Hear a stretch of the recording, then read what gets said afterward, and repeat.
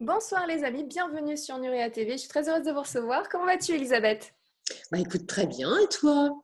Bah, ça va super bien. Donc, on se retrouve encore pour euh, une émission en ta compagnie. Alors, je préviens quand même tous les nouveaux arrivants sur Nuria TV que les émissions avec Elisabeth sont enregistrées. Comme ça, on est tranquille, on n'a pas de problème de connexion parce qu'on a eu tellement l'habitude de ça toutes les deux qu'on se dit voilà, on va enregistrer en journée, on sera sûr d'avoir une émission le soir. Donc, j'espère que vous nous en voulez pas trop. Mais pour le coup, vous allez pouvoir vous poser tranquillement, vous aussi de votre côté, et écouter, apprécier donc euh, l'histoire d'Elisabeth. Et aujourd'hui, tu vas nous de quoi? Ah ben, je vais vous parler d'une affaire, une sombre affaire euh, qui s'est passée au XVIIe siècle, sous le règne euh, du roi Louis XIII, euh, dans une petite ville qui s'appelle Loudun et qui se trouve au cœur du Poitou. Et voilà pas qu'un beau matin, ou plutôt une belle nuit, puisque ça a commencé plutôt une nuit, la mère supérieure du couvent des Ursulines de la ville commence à débloquer elle entend des voix, elle aperçoit un spectre euh, qui ressemble à quelqu'un qui est décédé. Et, puis, et puis, ça va être une épidémie. Euh, ça va très mal se terminer. Euh, et vous allez voir que c'est une histoire dont on parle presque encore de nos jours dans les facultés de médecine. Voilà. D'accord. Ok. Si vous avez un doudou dans le coin, vous l'attrapez. c'est important. C'est du lourd ce soir, niveau euh, émotion, sensation forte. Très bien. Alors, je vais me caler de ton côté. Et c'est parti. Donc, tout commence par une nuit sombre, une nuit très sombre du mois de septembre 1632, très exactement la nuit du 21 au 22 septembre 1632. La mère supérieure du couvent des Ursulines de la ville de Loudun une certaine Jeanne de Belsier euh, qui, euh, en prenant le voile, est devenue mère Jeanne des Anges, se promène dans le silence du monastère. Soudain, elle, euh, elle ressent comme une sorte de frôlement qui la fait sursauter et elle aperçoit aussitôt un spectre et une voix qu'elle reconnaît bien et qui l'effraie puisqu'elle reconnaît immédiatement la voix de l'ancien confesseur du couvent, le prieur Moussan.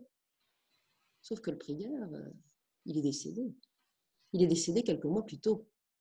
Donc très inquiète, elle court réveiller l'une de ses sœurs, en l'occurrence la sous-prieure sœur de Colombier. Tu n'as rien entendu, lui dit-elle. Mais oui, j'entends aussi, répond la religieuse. Et les voici toutes les deux maintenant épouvantées. Alors elles vont aller réveiller une autre de leurs religieuses. Il s'agit de sœur Marthe de Sainte-Monique. Et toutes trois aperçoivent nettement la silhouette spectrale de l'ancien confesseur. Et elles entendent tout aussi nettement sa voix. Donc c'est la panique.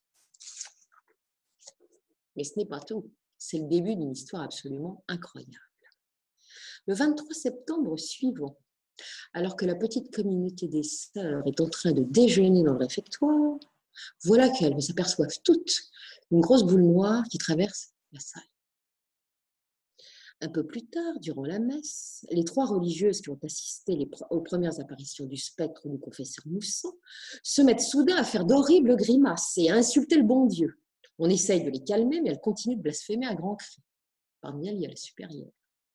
Pire encore, au moment sacré de la communion, voilà qu'elle recrache l'hostie en poussant des cris de démente. Et c'est pas fini. D'autres religieuses commencent aussi à s'agiter. 14 ans tout. Mais c'est contaminant. Quelques laïcs qui assistent à l'office sont également euh, pris de délire. La nuit qui suit, la presque majorité des sœurs disent avoir vu le fantôme du confesseur, et pour certaines avoir entendu des voix. À la suite de ça, beaucoup d'entre elles vont refuser de s'alimenter. Pire encore, certaines vont de temps à autre perdre le contrôle de leur personne. C'est ainsi qu'on en verra euh, certaines courir à demi euh, sur le toit du couvent, et d'autres grimper lestement aux arbres comme de petits singes. Donc il y a quelque chose qui ne va pas. Euh, nombre d'entre elles sont prises de contorsion, de somnambulisme, et une fois la crise passée, elles deviennent tout à fait normales et elles ont complètement oublié ce qui leur est arrivé. Voilà qui est bien étrange. Mais le 11, septembre, euh, le 11 octobre 1632, ce n'est plus le spectre de l'ancien confesseur Moussan que ces religieuses vont voir, mais celui d'un certain urbain Grandier. Euh, c'est le curé de la paroisse euh, du marché Saint-Pierre. Et celui-là n'est pas mort. C'est un bon vivant. Hein, euh, bien vivant et bon vivant, comme vous l'allez voir. Et à partir de là, elles vont être prises de folie. C'est du délire complet, puisqu'elles vont accuser le curé Grandier de venir les voir dans leur chambre, de les tenter d'avoir une conduite obscène et même de les toucher aux endroits intimes, vous imaginez. La supérieure Jeanne des Anges, quand elle prétend subir des rêves impudiques où elle copule à tout va avec l'abbé Grandier, et pourtant elle n'a jamais rencontré le curé, elle ne l'a jamais vu de sa vie. Alors qui est le fameux curé Grandier le père Urbain Grandier est arrivé à Loudun une quinzaine d'années plus tôt. Dans la ville, on ragote sur ce prêtre. Pourquoi? Parce que pour son premier poste, on lui attribue une paroisse très riche, socialement euh, riche. Et c'est donc la, fameuse paroisse du marché Saint-Pierre. Et c'est plutôt contraire aux usages qu'on octroie euh, à un débutant, si je puis dire, une paroisse aussi euh, lucrative compte tenu de sa jeunesse, euh, c'est très étrange. Ouais, c'est étrange, mais pas tant que ça. En fait, grandir des relations et pas n'importe lesquelles. Et Urbain grandit a également autre chose. Il a des atouts physiques euh, qui prêtent à la jalousie. C'est un orateur hors pair aussi, dont les discours en chair fascinent l'assistance. Durant ses, ses, prêches, il fait preuve d'une liberté de parole absolument incroyable ne cachant pas non plus ses amitiés pour les protestants. Loudun était une ville protestante, très protestante, et il y en a encore de nombreux en ville, même si on n'en est plus aux guerres de religion. Et à la messe du dimanche, évidemment, protestants, anciens protestants et catholiques se côtoient euh, pour venir entendre le sermon. Bref, euh, notre abbé Grandier euh, est une sorte de bossuet local avant l'heure. Mais surtout, il est très beau beau comme un ange, beau et bourré de charme. Une belle stature, un visage régulier, des yeux sombres, une petite barbe taillée en point, vous savez, comme celle des mousquetaires. Euh, ses paroissiens l'adorent et surtout ses paroissiennes. L'ennui, c'est qu'il les adore aussi. Ah, il est très populaire, l'abbé Grandier, dans les grandes familles, on le reçoit, on se l'arrache même. Il euh, passe son temps à aller euh, festoyer dans les belles demeures les maîtresses de maison, comme les jeunes filles de la maison, lui font les yeux doux et se pâment. Ah, il en profite. Hein. C'est qu'il n'a jamais renoncé au plaisir de la chair. Le vœu de chasteté, il l'a acheté aux orties depuis longtemps. L'homme est donc un véritable don Juan en soutane qui émoustille la jante féminine de Loudun. Et il s'en donne à cœur joie, en mettant au passage quelques-unes de ses maîtresses euh, enceintes. Sauf que bah, quand ça arrive, ils les abandonnent sans aucun remords à leur triste sort. L'ennui, c'est qu'il va séduire une certaine Philippa, qui est la fille du procureur du roi. Euh, il s'appelle le procureur Trinquant. Et son père, voulant que sa fille ait des lettres, avait pensé à Urbain Grandier pour lui dispenser quelques cours de latin. Ah oui, en fait, de programme latin, on n'a pas fait beaucoup. Par contre, dans l'art de la volupté, elle a fait de sérieux progrès. L'ennui, c'est que la jeune fille qui a 15 ans va se retrouver également enceinte des œuvres de son confesseur, puisqu'il est en même temps son confesseur. Et il va se montrer une fois de plus euh, parfait goujat, euh, puisqu'il va abandonner euh, Loisel pour aller courir ailleurs. Et, c'est là qu'il va tomber sur son grand amour. Il va être foudroyé d'amour pour une certaine Madeleine de Brou. Alors, Madeleine de Brou, c'est une beauté, comme. Euh, elle est orpheline, issue de la haute noblesse. Et bon, bah, vous savez comment ça se passe, vous ne le savez peut-être pas, mais je vous l'explique, c'est que dans des temps anciens, euh, eh bien, euh, quand une jeune noble de bonne lignée se retrouve hélas orpheline, qu'elle n'a donc pas de dot, pas d'argent, eh bien, son avenir est tout tracé, c'est direction le couvent. Et pour Madeleine de Brou, c'est exactement ce qui est prévu pour elle. Urbain Grandier est son confesseur au départ et il se charge de son enseignement spirituel. Euh, bon, il ne va pas lui enseigner que la spiritualité. Au, débat, au départ, il sait se tenir. Hein. Il la courtois, il, la courtise, il est courtois. Euh, il se dit quand même que ce serait bien dommage d'enfermer une telle beauté derrière les murs d'un couvent. Alors, au fil des leçons, il commence à lui dire bah, écoutez, ma chère, réfléchissez à votre avenir. Est-ce que vous voulez vraiment rentrer dans un couvent? Madeleine de Brou n'est pas née de la dernière, dernière pluie. C'est pas une oiselle qui tombe dans les bras du premier venu. Ah, il est beau, Grandier, il est charmant, et puis il sait y faire. Mais bon, l'idée de renoncer au pouvoir, elle n'est pas contre, mais à condition qu'on respecte les convenances. Et les convenances, bah, ça lui fait dire un jour, bah, si vous voulez me mettre dans votre lit, épousez-moi. Que faire? Pour une fois, Grandier est éperdument amoureux. Ce n'est pas qu'une histoire de chair, c'est une histoire d'amour. Alors, il va se mettre à réfléchir, une réflexion profonde. Ah, est-ce que le célibat est une nécessité pour les prêtres? Il se dit que bah, un prêtre catholique pourrait fort bien prendre épouse et fonder une famille. Alors il épuise son cerveau à lire les textes euh, anciens, les textes sacrés, les textes de l'Église, et il se rend compte qu'en remontant très haut, eh bien, c'est l'Église catholique qui a imposé aux prêtres le célibat, mais que dans les textes comme la Bible ou le Nouveau Testament, bah, il n'y a rien de marqué de tout ça.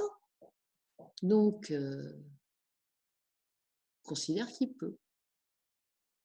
Ah oui, sauf qu'il faut établir une doctrine sur le sujet. Donc, il va se lancer dans les Écritures pour démontrer qu'il a raison. Et il va écrire, après avoir recherché euh, des sources euh, fiables, diverses et variées, c'est très étayé son truc, il va écrire euh, le traité de célibat des prêtres. Et il va le faire publier. Alors imaginez le scandale de la bonne ville de Loudun. Puis alors en plus, ça tombe mal, cette initiative de l'abbé Grandier, parce que l'Église catholique romaine, à l'époque, est en train de se réformer. C'est ce qu'on appellera la contre-réforme. Et les mœurs s'étant un peu relâchées chez les ecclésiastiques, euh, l'Église a décidé de mettre de l'ordre dans ses rangs et de reprendre les choses en main. Et on revoit à la sévérité la liberté qu'on avait octroyée au prélat et à la discipline des prêtres. Oh, mais Grandier est amoureux, tout à sa passion, tout ça, ça, lui passe au-dessus. Donc, euh, son traité est publié. Mais il va faire encore plus fort, c'est qu'il va vraiment l'épouser, Madeleine de Brou. De nuit, dans son église, avec euh, de rares témoins, évidemment, parce qu'il faut qu'il y ait des témoins. Alors, euh, tant qu'à faire, on n'est jamais aussi bien servi que par soi-même, il sera l'époux et l'officiant.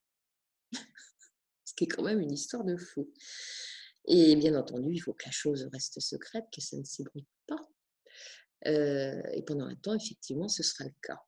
Et puis, euh, bon, qu'à cela tienne, une fois qu'on est mariés, on vit ensemble. Et très ouvertement, Urbain Grandier vit avec sa chérie, euh, Madeleine Debrou.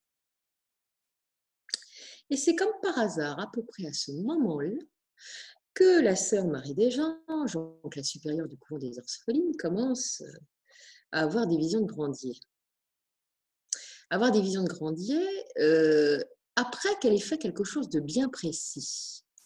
C'est qu'un jour, euh, eh bien, elle écrit au, curé Grandier une petite lettre pour lui demander s'il serait d'accord pour remplacer le confesseur Moussan, qui donc est décédé. Et elle s'attendait à ce qu'il lui dise oui. Sauf que Grandier n'est pas du tout très chaud et il va lui répondre tout net qu'il refuse. Donc, elle choisira un autre prêtre en la personne de l'abbé Mignon. Et très curieusement, c'est qu'après que Grandier ait refusé son offre, qu'elle commence à avoir des visions de panorama. Le chanoine Mignon, qui a remplacé Moussan dans la qualité de confesseur des, Ursulines de, de, Loudun, n'a rien à voir avec le curé Grandier. Bah, déjà physiquement, euh, il n'est pas terrible, mais surtout, il déteste Grandier pour ses mœurs. Il le hait ouvertement. C'est un jaloux, il est psychorigide, il ne rate pas une occasion de démolir le bellâtre et sa réputation. Et là, on peut dire que l'occasion lui est offerte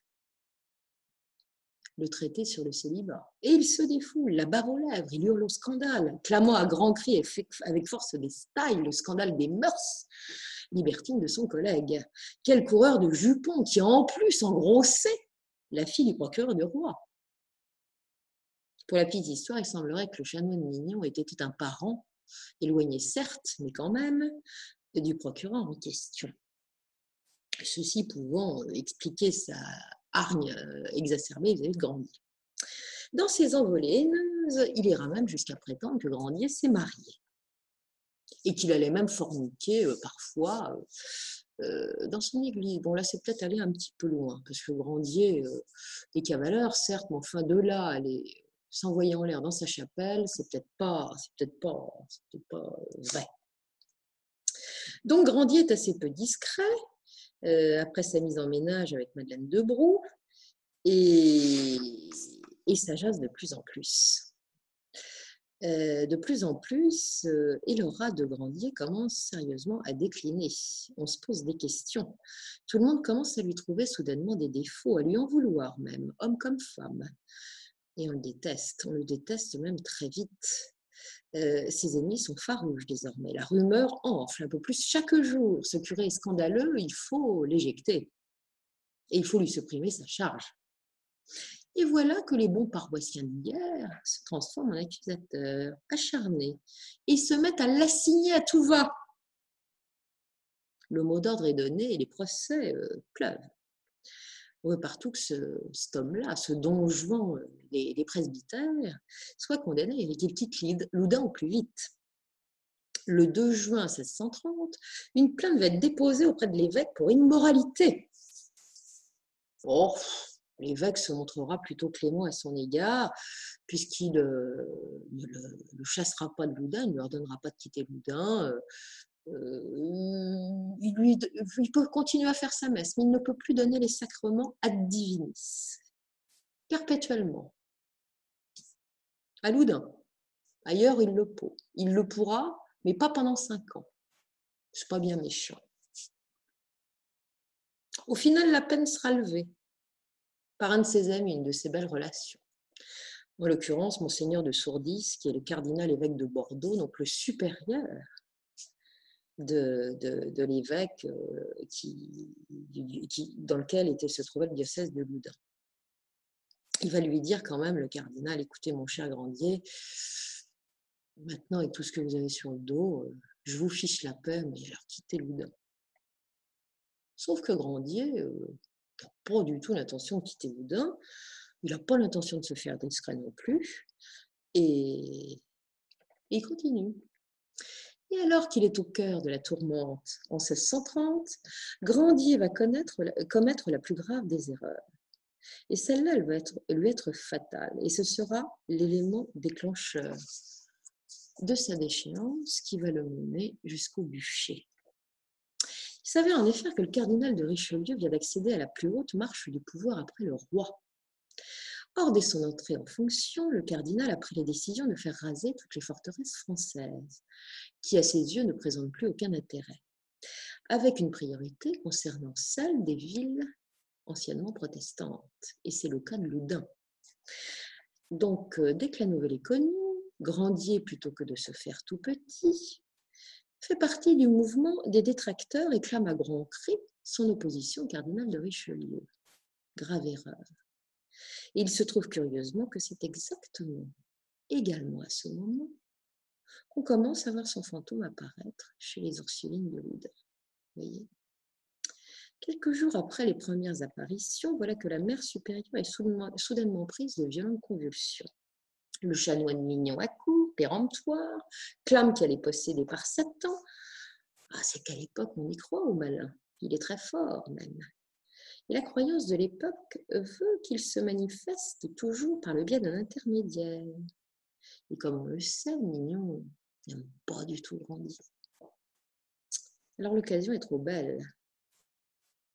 Il interroge la supérieure. Ce fantôme harcelant, dites-moi, est-ce que ce n'est pas vous, pas lui qui euh, vous troublerait le corps et l'esprit euh? Ce serait peut-être ce grandier, voyons. C'est ce qu'il suggère à la religieuse. Et comme on le sait, Sœur Marie des Anges ne l'a jamais rencontré. pourtant, ah oui, oui, elle se met à clamer euh, qu'il pourrait bien s'en effet s'agir de lui. Qu'il a d'ailleurs essayé de la séduire en laissant dans le cloître un joli bouquet de roses à son attention. La contamination se propage au couvent et prend une telle ampleur que Mignon euh, commence à se sentir un brin dépassé.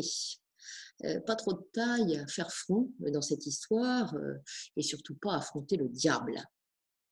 Dans un premier temps, il prévient l'évêque qui dépêche aussitôt ses exorcistes. Ils vont pratiquer selon les rituels romains sur chacune des religieuses. Leur tâche est difficile car les démons ne veulent pas se nommer, mais à force de ténacité, ils vont quand même y parvenir. Et euh, il y en a une belle pléthore, une belle brochette. Je vous cite les noms Asmodée, qui n'est pas très très gentil celui-là, Astaroth, Behemoth, Baruch, Zabulon, Léviathan, Balaham et Ika, Isaac. Il y en a de tous les genres, des lubriques, des insolents, des facétieux. Enfin, c'est du lourd. Bon, l'exorcisme fait, on peut penser que ça va s'arranger, mais pas du tout. Les phénomènes ne cessent pas. Le chanoine mignon est un peu inquiet car euh, il pensait que ça allait terminer cette histoire. Ben non. Et il n'a toujours pas envie de se mêler de cette histoire. Le diable, c'est pas son combat. Donc, il va faire appel à un exorciste de ses connaissances. Il s'agit d'un certain Jacques Barré, qui est chanoine à Chinon. Le bonhomme est un exalté, et à peine a-t-il été prévenu par son confrère qu'il rapplique qu'il se met en route euh, avec une bande de paroissiens aussi exaltés que lui pour se rendre à Loudun. Et Barré il est vraiment barré, comme son nom l'indique, sans mauvais jeu. Vous allez voir. Arrivé chez les Ursulines, il s'attelle à la tâche et multiplie les exorcismes. Il asperge la supérieure à grande eau bénite, à coups de goupillon, euh, va des rétro satanas. Durant les aspersions, on remarque que le corps de la religieuse est pris de terribles convulsions, se tord et prend des postures absolument insensées. Barré interroge le démon qui la possède. Comment t'appelles-tu? Dit-on, le démon est bavard. Il crache une succession de noms. Au hasard Balthazar. Barré s'acharne à lui demander de partir, mais il résiste, ce démon. Pire encore, son influence prolifère. L'effet est contraire.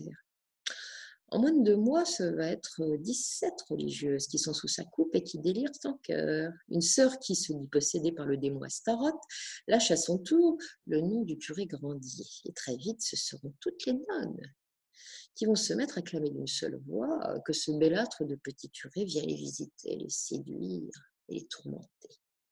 Les faits auraient dû normalement rester secrets, mais des moines capucins vont rendre la chose publique plus que jamais, la colère monte en ville. Et ça commence à devenir très délicat pour notre urbain grandier. Devant la gravité de l'affaire, la justice ecclésiastique est saisie. C'est ainsi que l'évêque de Poitiers donne l'ordre de l'arrêter. Là, on n'en est plus euh, aux petites admonestations paternelles. Lorsqu'il est interrogé, Grandier se défend à grands cris. Il n'est pour rien dans cette histoire. Il est innocent, évidemment, de tout ce qu'on lui reproche. D'ailleurs, il n'a jamais mis les pieds au courant des Ursulines, ne connaît aucune de ses religieuses, même pas la mère supérieure. Il est jugé coupable et on le jette au cachot. Mais quelle horreur et quelle injustice surtout. Furieux, il fait appel de la décision. Hiérarchiquement, c'est son ami, le cardinal Henri de Sourdis, archevêque de Bordeaux, qui doit euh, normalement statuer une nouvelle fois. Et cette fois, le cardinal va s'avérer bien plus méthodique et prudent. Il ordonne une enquête. Les clercs qu'il désigne pour ce faire se rendent d'abord au couvent des Ursulines, on les interroge séparément, on cherche des preuves de la possession, présentent-elles des manifestations corporelles contraires aux lois de la nature, savent-elles des secrets que seul le diable sait, ont-elles le don des langues? En fait, on ne constate pas grand-chose qui correspond aux manifestations de possession habituelles. Pour tout dire, on ne remarque rien du tout. Le cardinal de Sourdis ne sait trop quoi en penser. Dubitatif, il se décide à envoyer sur place ses propres exorcistes. Alors, arrivé au couvent, va se dérouler un curieux incident. Le chanoine mignon va leur barrer la route et refuser de les laisser entrer, ces exorcistes, ses concurrents. Il explique fièvrement à ses collègues que tout est rentré dans l'ordre et que le diable a quitté les lieux. Circuler, il n'y a plus rien à voir. Drôle d'attitude. Bah, puisqu'il en est ainsi, le cardinal évêque ne sera pas plus royaliste que le roi. Il relâche donc Grandier, et qui, comme sans doute, se trouve bien soulagé de cette issue qu'il n'attendait euh, absolument pas. Pour autant, la cabale ne cesse pas. Et c'est à ce moment que débarque inopinément dans la bonne ville de Loudun un commissaire spécial envoyé en émissaire par le cardinal de Richelieu en personne. Et cet émissaire, vous l'allez voir, il va être euh, particulièrement agressif et retors. Il s'agit du baron Jean-Martin de Lobardemont, donc missionné officiellement, et pour une tâche bien précise, celle de la destruction du donjon et des remparts de la ville. Oui, parce que comme je l'ai rappelé tout à l'heure, le cardinal de Richelieu avait décidé de faire détruire toutes les anciennes forteresses construites dans les villes protestantes. Alors cette arrivée, elle tombe bien mal pour Curie Grandier, qui aurait dû, je l'ai déjà rappelé, se faire petit et d'autant plus petit après sa sortie des cachots de l'Église. Hélas, il n'a rien trouvé de mieux que de reprendre sa place dans la campagne d'opposition à Richelieu. Pire encore, voilà maintenant qu'il s'oppose avec virulence au transfert du grenier à sable de Loudun dans une nouvelle ville que Richelieu a l'intention de créer, pas très loin de Loudun, et qui portera son nom. Or, vous savez, le grenier à sel, c'était une source de revenus euh, considérable. Hein. Le baron de Lombardemont euh, ne va pas louper Grandier. Il a bien entendu euh, écouter tous les ragots de la ville. Il a écouté et pris des notes. Urbain Grandier, très curieusement, va demander à être reçu pour lui dire ce qu'il a à lui dire mais en tant qu'opposant au projet de destruction des remparts et du donjon. Laubardemont l'écoute, il écoute ses doléances, il ne va pas entendre que ça d'ailleurs. Il va un petit peu titiller le grandier sur les ragots qui courent en ville. Grandier va effacer ça d'un revers de la main mais Laubardemont a compris et il n'a pas l'intention de lâcher prise. Tout le monde parle de Grandier dans cette petite cité et Laubardemont ne comprend pas que l'Église est absoute en cause d'appel. Alors, qu'est-ce qu'il va faire? Il va procéder à une enquête. Et cela va de soi, il entend rapidement parler de ces cas de possession qui dérangent et retournent le, couvent des Ursulines de la ville. Et puis il apprend évidemment euh, que les sœurs accusent Urbain Grandier. Dans le même temps, le chanoine Mignon est furieux d'avoir été contredit dans son diagnostic de possession par ses supérieurs ecclésiastiques.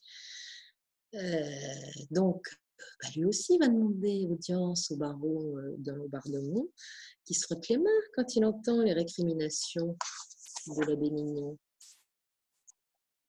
Cela tombe bien aussi pour Mignon, car Lombardemont lui annonce tout de, tout de qu'il est spécialisé dans les affaires de sorcellerie. Il va même se vanter auprès de lui d'avoir envoyé au bûcher plus d'un sorcier qui troublait l'ordre public. Pas de chance pour Grandier, d'autant que deux des religieuses possédées, dont une certaine mademoiselle de Dampierre, se trouvent elles aussi être des parentes du baron de Bombardement. Il semblerait d'ailleurs que le chanoine mignon euh, s'il était déjà un parent du procureur du roi, l'aurait été également du baron de Lombardon. Bref, une tuile totale pour notre grandie. La forteresse de Loudun sera rasée et Grandier se taira enfin, mais un peu trop tard. Sa mission achevée à Loudun, Lobardemont rentre immédiatement à Paris pour présenter son rapport au cardinal de Richelieu. Bien évidemment, il évoque ce très étrange curé Grandier, qui, non content de s'être opposé à ses projets, est aussi soupçonné d'être mêlé à une affaire de sorcellerie au couvent des Ursulines de la ville de Loudun. il en rajoute certainement un peu pour convaincre Richelieu de ce que l'affaire est grave. Le cardinal écoute avec attention, comme il sait si bien le faire. Grandier, Grandier. Mais bon Dieu, ça lui dit quelque chose. C'est un nom qui sonne bien à son oreille. Mais oui, c'est ce petit curé bellâtre et insolent qui, lorsqu'il était encore évêque de Luçon, avait osé prendre à sa place la tête d'une procession à laquelle il assistait, sans aucun souci des convenances et de l'ordre établi. Le même qui avait d'ailleurs publié contre lui un pamphlet anonyme particulièrement violent intitulé Lettre de la cordelière de la Reine-Mère à Monsieur de Baradas et qui attaquait sans ménagement les conseillers du roi et plus particulièrement sa personne. Tiens, tiens, tiens, Grandier, voilà qui est intéressant. Richelieu en avise immédiatement le roi. Euh, cette affaire risque de polluer la tranquillité de son royaume, sire. Faites quelque chose. Les guerres de religion ont pris plus de temps depuis quelque temps, on va pas recommencer. N'oubliez pas que Loudun était un fier protestant et que cette histoire pourrait bien faire du dégât.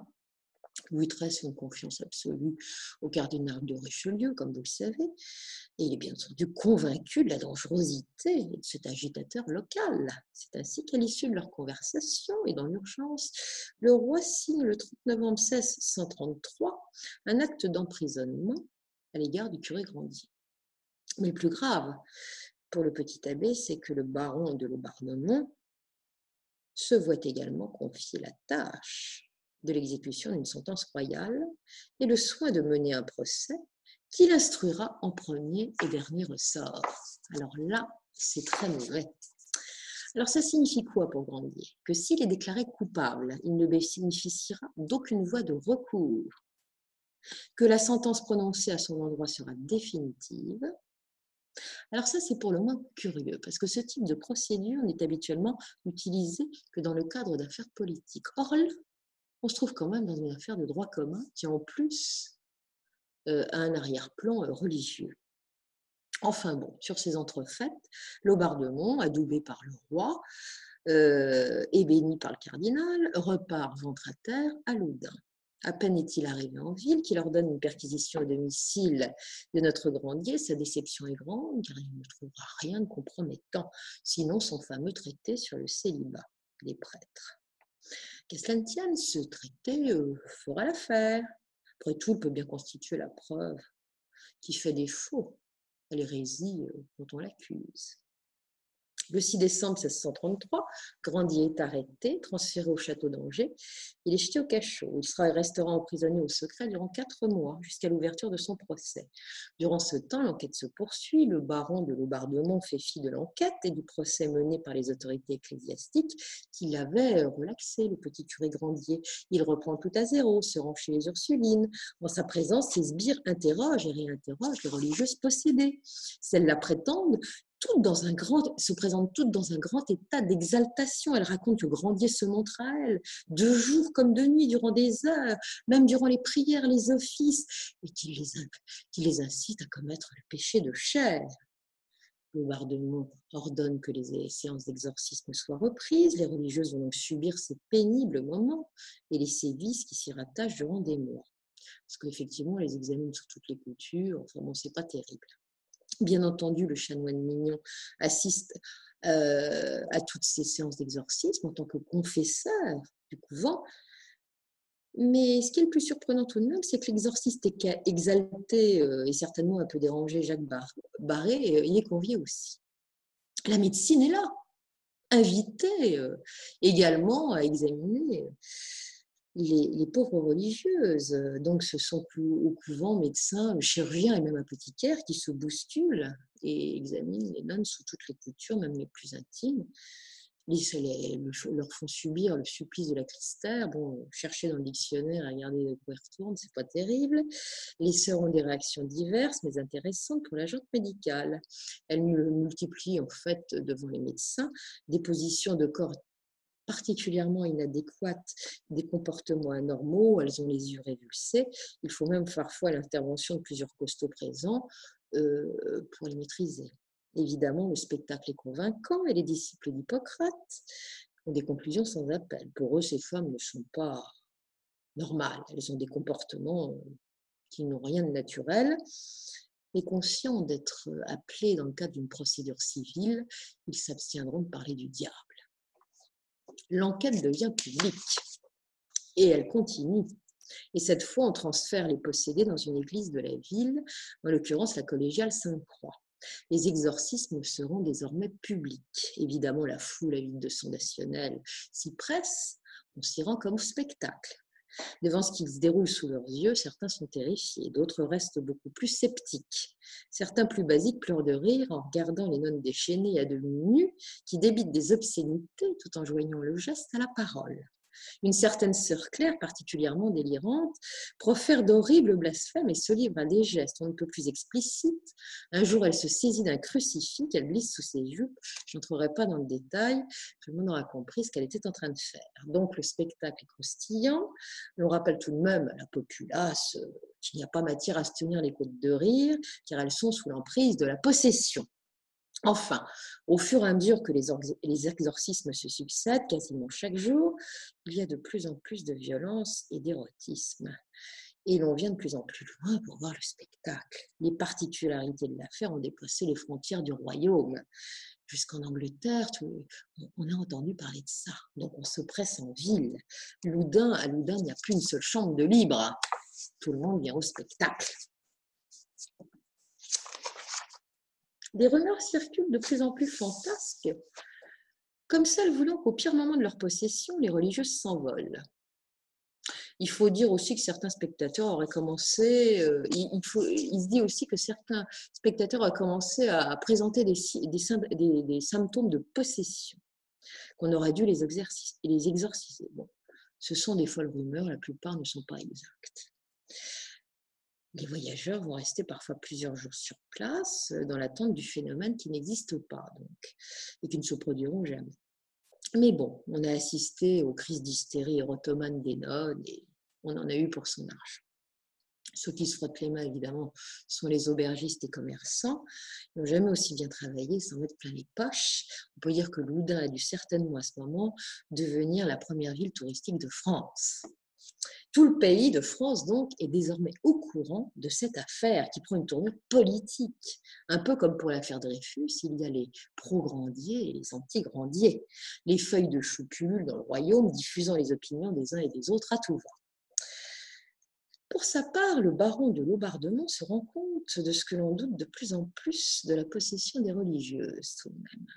Il constate surtout que le curé Grandier est en passe de devenir une victime. Et ça, ça, ça, ça l'ennuie beaucoup parce que ça pourra entacher euh, la réputation du cardinal de Richelieu, son mentor. Ça ne lui plaît pas. Alors il ne va pas y aller par quatre chemins euh, pour mettre fin à ce début de trouble à l'ordre public. Il émet un décret désormais qui, compte doutera de la possession des nonnes, s'exposera à une forte amende et au supplice du fouet. Allez, hop, et on n'en parle plus. Et à partir de ce moment, le baron ne va plus instruire qu'à charge. Pas question désormais de laisser s'immiscer la moindre preuve contraire. Toutes les expertises contradictoires sont donc systématiquement écartées. C'est dans cet état d'esprit que trois religieuses vont revenir sur leur déclaration et expliquer qu'en réalité, elles ont joué la comédie, qu'elles n'ont jamais été possédées, et on refusera d'enregistrer leurs aveux. Parmi elles, il y a une fameuse sœur Claire dont j'ai parlé tout à l'heure elle, avait mis le paquet euh, dans les exhibitions. C'est la plus débauchée de toutes ses campagnes. Et sa volte-face va évidemment provoquer un tollé immédiat de la part des juges et des exorcistes. On accuse dès lors les religieuses d'avoir été manipulées par le diable. Et oui, c'est qui peut leur avoir soufflé cette idée de rétractation. Bon, on l'a compris à ce stade, si je peux me permettre, pour grandir, les carottes sont cuites. Il n'a plus l'ombre d'une chance de s'en sortir. Et tout ça, ça se passe sans lui. Il est toujours au fond de son cachot, à Angers. Bon, on ne lui dit pas directement les choses, mais il sent bien que son sort est scellé, qu'il suffit de voir la tête de ces geôliers, qui ont tous des, des têtes de carême, pour qu'ils comprennent que son sort et là, se réglé. Alors il va écrire une supplique au roi Louis XIII pour clamer son innocence. Ah, comme il fallait s'y attendre, Louis XIII ne répondra même pas. Grandier va être amené sur Loudun en 1634. Sous l'égide du chanoine Mignon, euh, on va pour la première fois le confronter aux religieuses qui l'accusent. Il serait temps. Labré va se montrer très défensif et jouer ses dernières cartes. Il va demander à ce que les religieux soient mises dans des conditions neutres afin de leur permettre objectivement de le reconnaître ou pas. Après tout, elles l'ont jamais eu. Alors il va dire, il va suggérer que l'on présente quatre prêtres qu'elles ne connaissent pas et que parmi ceux-là, euh, elles le désignent. Évidemment, c'est un piège dans lequel les exorcistes et les magistrats ne vont pas tomber, et on refusera agrandir cette faveur. Et pourtant, il était clair que rien qu'avec ça, les religieuses ne pouvaient pas reconnaître Grandier puisqu'il n'était pas parmi ces quatre prêtres. Il ne se départ pas pour autant de son calme et de sa dignité, Grandier. Ce n'est plus la grande gueule d'autrefois, le charmeur, c'est quelqu'un euh, qui a compris et, et qui se comporte à partir de là avec beaucoup de mesure. Et ça va significativement frapper la foule des curieux venus en nombre pour assister à la confrontation. On commence de plus en plus à chuchoter dans les rangs. Le doute vient s'installer dans les esprits. Alors on va passer à l'étape suivante de ce type d'instruction, qui consiste à vérifier si le curé présente sur le corps les stigmates du diable. Alors pourquoi euh, euh, Alors, j'explique comment ça se passe. Euh, alors d'abord, on va le raser entièrement, y compris aux parties intimes, parce qu'on doit avoir de partout, hein, si on ne voit pas une trace sur la peau qui soit visible à l'œil. On lui met un bandeau sur les yeux et un chirurgien va être chargé d'examiner de près dans tous les recoins pour vérifier euh, la présence d'éventuelles marques. Mais aussi, il y a autre chose. On va chercher la marque du diable en piquant le corps de Grandier de toutes parts. Car euh, la marque du diable, c'est l'endroit du corps où quand on, pique, c'est insensible. Et le chirurgien, qui est le féroce ennemi de Grandier, qu'il ne peut pas saquer, va le piquer, mais comme une brute de toutes parts. Jusqu'à un moment euh, où il se contente de le pincer avec son pouce à un endroit de sa chair. Évidemment, simplement pincé, le curé ne hurle pas. Mais le chirurgien, oui, bien sûr, on a trouvé la marque du diable. C'en est fait. L'aubardement clame est fort qu'on n'a pas à chercher plus loin, que la marque de Satan a été trouvée. Reste maintenant à prouver l'existence d'un pacte avec le diable. C'est la troisième étape. Ah, c'est la preuve essentielle, évidemment. Et cette preuve cruciale, elle va arriver euh, par le biais de la mère supérieure, euh, Jeanne des Anges. Un parchemin serait soi-disant sorti de sa bouche devant témoin. Évidemment, euh, le parchemin est signé de la main de Grandier, de quelques démons tels que Satan et Belzébuth.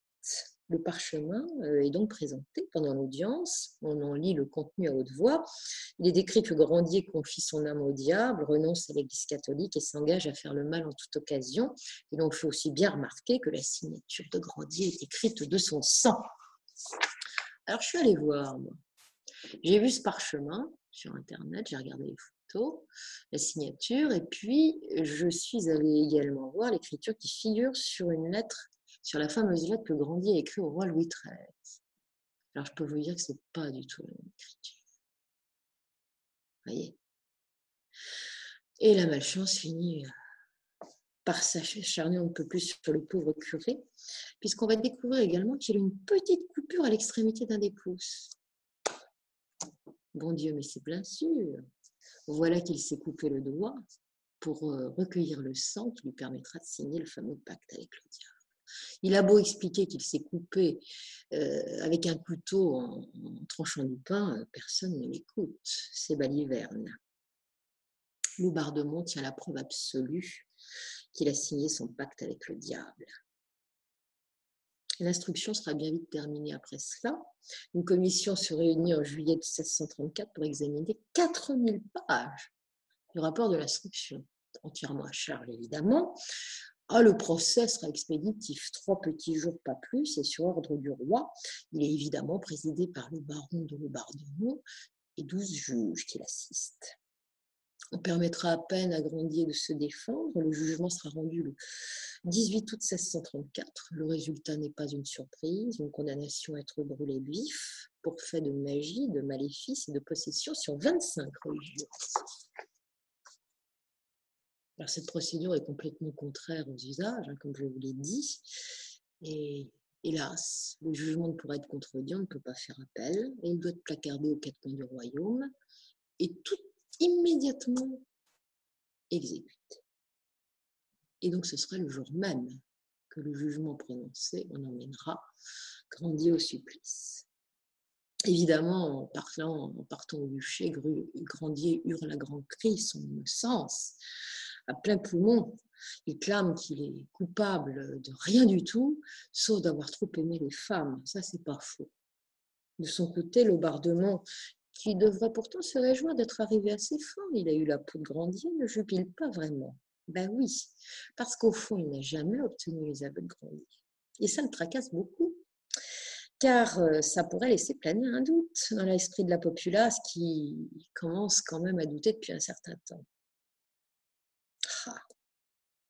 Eh ben, il a une idée. Casse le tienne avant le bûcher, on va le torturer un peu. Tiens, un petit supplice du brodequin, il va tout nous dire, il nous fera des aveux complets, on n'en parlera plus, et ma conscience sera soulagée, la populace convaincue. Et ce sont des moines capucins qui vont être chargés de la salle besogne. Durant l'odieux supplice, Grandier hurle comme un possédé, c'est le cas de le dire sans mauvais jeu de mots, et n'avoue pas. Alors on serre toujours un petit peu plus fort, les, jambes se brisent, les os éclatent, mais il ne parle toujours pas. Il nie toute relation avec le diable et se contente d'avouer que, des erreurs bien humaines qu'il estime avoir commises. Devant ton entêtement, l'embardement finit par comprendre qu'il n'obtiendra rien. Donc, euh, allez, au bûcher qu'on n'en parle plus. Grandier, dont les jambes sont broyées, souffre le martyr, cela va de soi, mais au lieu de le mener directement au bûcher, on lui fait faire un petit tour en charrette en ville. Hein. On va l'arrêter euh, devant son ancienne église, des fois que ça provoquerait quelque chose chez lui, devant le courant des Ursulines, des fois qu'il a envie d'avouer. Euh, mais il ne passe rien, il ne dit rien, il gémit, plus rien ne sortira de sa bouche d'ailleurs. Avant que le bûcher ne soit allumé, Grandier va demander une dernière faveur, en l'occurrence celle qu'un prêtre de l'ordre des Augustins vienne le confesser. On lui refuse. Et puis un supplice supplémentaire va lui être infligé, psychologique cette fois. Ses bourreaux vont le faire patienter trois heures avant de se décider à le faire monter sur le bûcher. Ah oui, des fois qu'il réfléchirait. À un moment, il veut s'adresser à la foule. On lui jette immédiatement un seau d'eau à la figure, de l'eau bénite évidemment, pour le faire taire. Avant d'allumer les fagots du bûcher, un moine monte jusqu'à lui pour lui donner un baiser. Il s'écrie alors ah, ah, ah, Voilà le baiser de Judas. Pour l'empêcher de dire plus, les exorcistes se jettent sur lui et lui déchirent la figure à coups de crucifix. On lui avait promis l'étranglement avant la crémation, mais la promesse ne sera jamais respectée, car le père Lachant, saint franciscain, a fort opportunément oublié de prévenir le bourreau. Quand l'exécuteur, donc le bourreau, s'en aperçoit, euh, il se dit qu'il pourrait peut-être le faire. Donc il commence à vouloir étrangler notre grandier, mais les religieux se jettent sur lui et l'en empêchent. On mettra le feu, et c'est ainsi que Grandier sera brûlé vif, avec le traité de célibat des prêtres bien en vue à ses pieds. Durant cette horreur, il restera d'une dignité exemplaire, ne criant pas malgré la douleur atroce, jusqu'à ce qu'il rende son dernier souffle. La foule qui s'est déplacée restait muette. Il y avait à peu près 6000 personnes dans cette exécution, ce qui, qui s'est tenu sur la place du marché. Euh, et la vision de l'abbé euh, mourant sans un cri dans les flammes, ça l'a impressionné, cette foule. Beaucoup repartiront convaincus d'avoir vu mourir un innocent. De son côté, le baron de l'embardement est soulagé qu'on en ait fini avec euh, cette histoire, mais n'est qu'à moitié satisfait. Bon, le sorcier est mort, mais la page est tournée, on n'en parle plus. Mais il y a un autre problème qu'il taraude, c'est qu'on lui a dit que bah, les cas de possession continuent chez les Orsilines de Loudun. Ça continue dans le couvent. Donc si ça sait, la populace va se poser des questions, plus que jamais sur l'innocence du curé Grandier. On va les exorciser entre leurs quatre murs pendant au moins encore trois ans pour la plupart d'entre elles. Ce sont des capucins qui pratiquent désormais ces exorcismes. Ce ne sont plus les capucins qui pratiquent désormais ces exorcismes, mais des jésuites. Et parmi eux, un drôle de jésuite. Il s'appelle Jean-Joseph Surin. Lui est un, écrivain, il écrit tout ce qu'il fait, donc il va écrire dans le détail tous les exorcismes pratiqués sur les nonnes. Donc on sait tout ce qui se passe à ce moment-là. Et en particulier ceux pratiqués sur la supérieure Jeanne des Anges. Il écrit tout dans le détail, les symptômes, les comportements, tout. Alors il dira soudain, elle était prise de pulsions violentes, d'idées obscènes, d'obsessions, de suggestions perverses, suivies de, terribles sentiments de culpabilité lorsqu'elle retrouvait ses esprits. Les exorcismes vont durer sept ans sur Jeanne des Anges. Sept ans. Outre les manifestations habituelles de possession qu'elle présentait, des convulsions, hallucinations et brutales crises de catalepsie, il se dit aussi qu'elle aurait développé une grossesse nerveuse après le décès du cruet Grandier. Alors il y a un petit, un petit truc bizarre quand même dans cette histoire. Y aurait-il une vengeance divine? Parce que trois des exorcistes qui officièrent avec plus ou moins de cruauté finirent plutôt mal. Ainsi le franciscain Lachance mourut dans le mois qui suivit l'exécution de Grandier. Il lui avait promis qu'il mourrait dans le mois Grandier. Et comme par hasard, c'est ce qui est arrivé.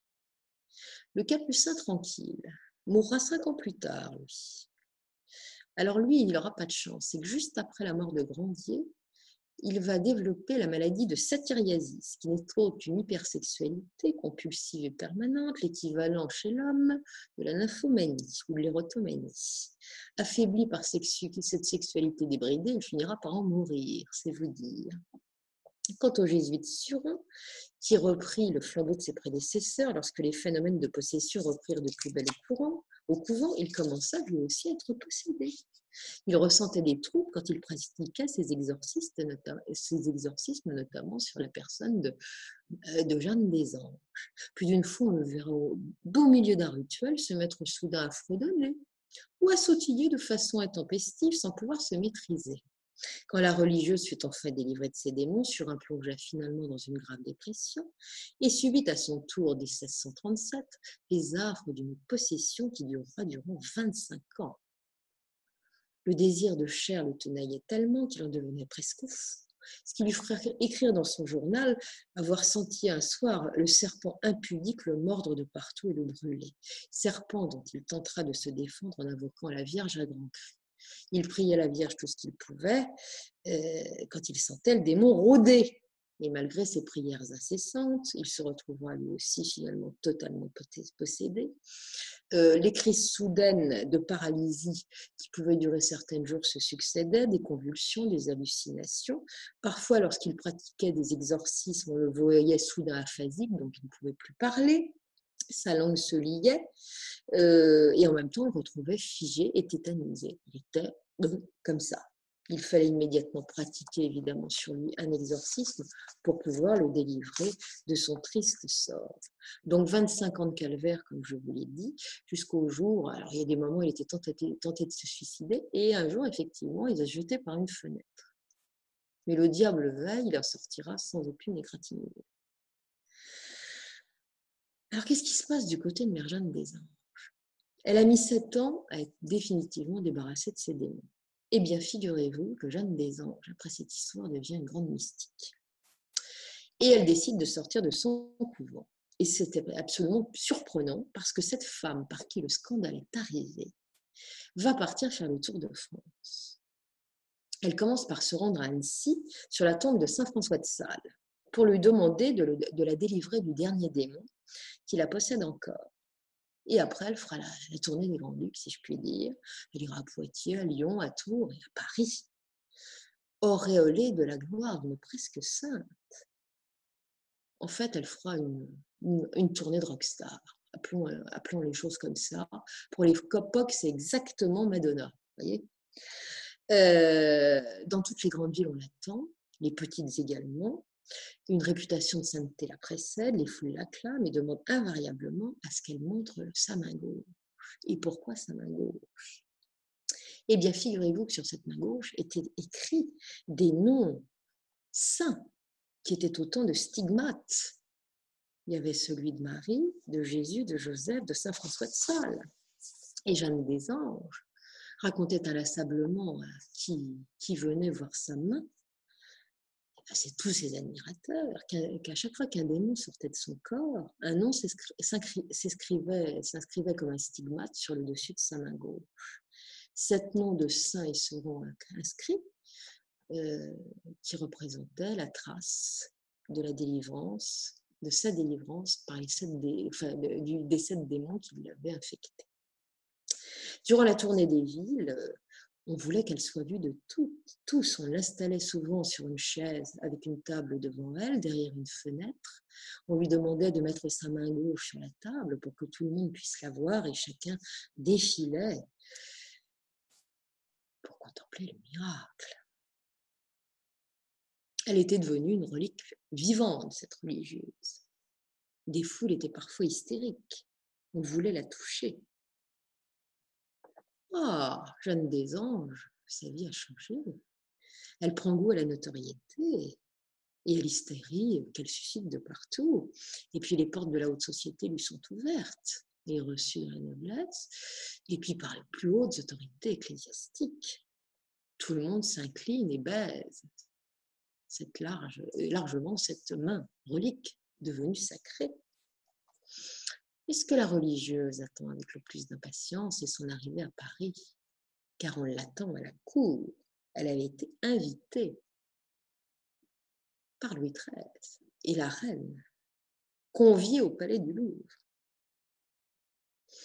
Arrivée à Paris, elle va d'abord avoir un entretien avec le frère du roi, Gaston. Alors celui-là, il s'était déplacé à Loudun à l'époque pour voir ce qu'il en était euh, exactement. Et il avait vu effectivement les séances d'exorcisme d'un certain nombre de religieuses, dont celle de Jeanne des Anges. Donc, normal qu'elle revoie Gaston de France. Jeanne des Anges sera également présentée au cardinal de Richelieu, qui la recevra en audience privée à Meaux. Et puis enfin, elle sera présentée à la reine Anne d'Autriche. Et elle arrive pile poil, si je puis dire, à un grand moment la reine est sur le, point d'accoucher. Jeanne des Anges est sous le charme. D'autant que la reine m'a demandé si elle pouvait assister à son accouchement. Imaginez le privilège. Et pourquoi ça? On peut se poser la question. Jeanne, euh, Anne d'Autriche était mariée avec Louis XIII depuis de nombreuses années et aucun héritier n'arrivait. Donc elle a prié, les deux ont prié et ont fait des vœux à la Vierge pour pouvoir avoir cet enfant. Donc la Vierge Marie euh, a écouté les prières. Et Anne d'Autriche est très pieuse et elle pense que sa grossesse relève donc du miracle et de l'intervention directe de la Vierge Marie. Comme elle est convaincue également que Jeanne des Anges a vaincu Satan elle en a été délivrée. C'est un porte-bonheur merveilleux. Alors pourquoi ne pas avoir cette religieuse dans sa chambre au moment de la délivrance qui la protégera du diable, puisqu'elle a su lutter contre? C'est ainsi que notre Jeanne des Anges verra l'arrivée au monde du grand Louis XIV. Après cela, elle retourne à Loudun elle reprend sa place de mère supérieure au couvent des Ursulines.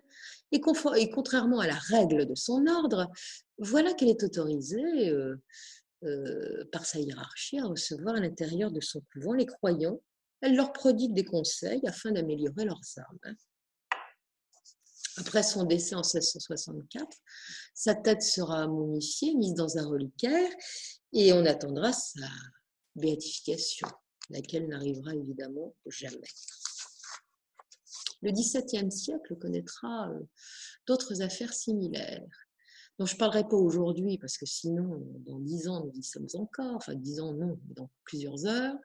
Donc, je m'arrêterai là et je me contenterai de parler, de, j'en ai terminé de, ce cas des religieuses de Loudun.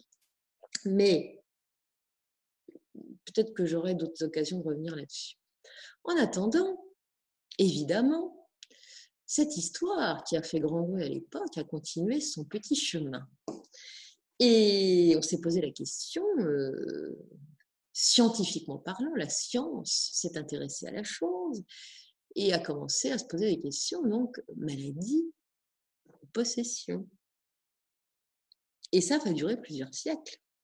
Quelques médecins de l'époque vont d'abord s'affronter dans leur diagnostic.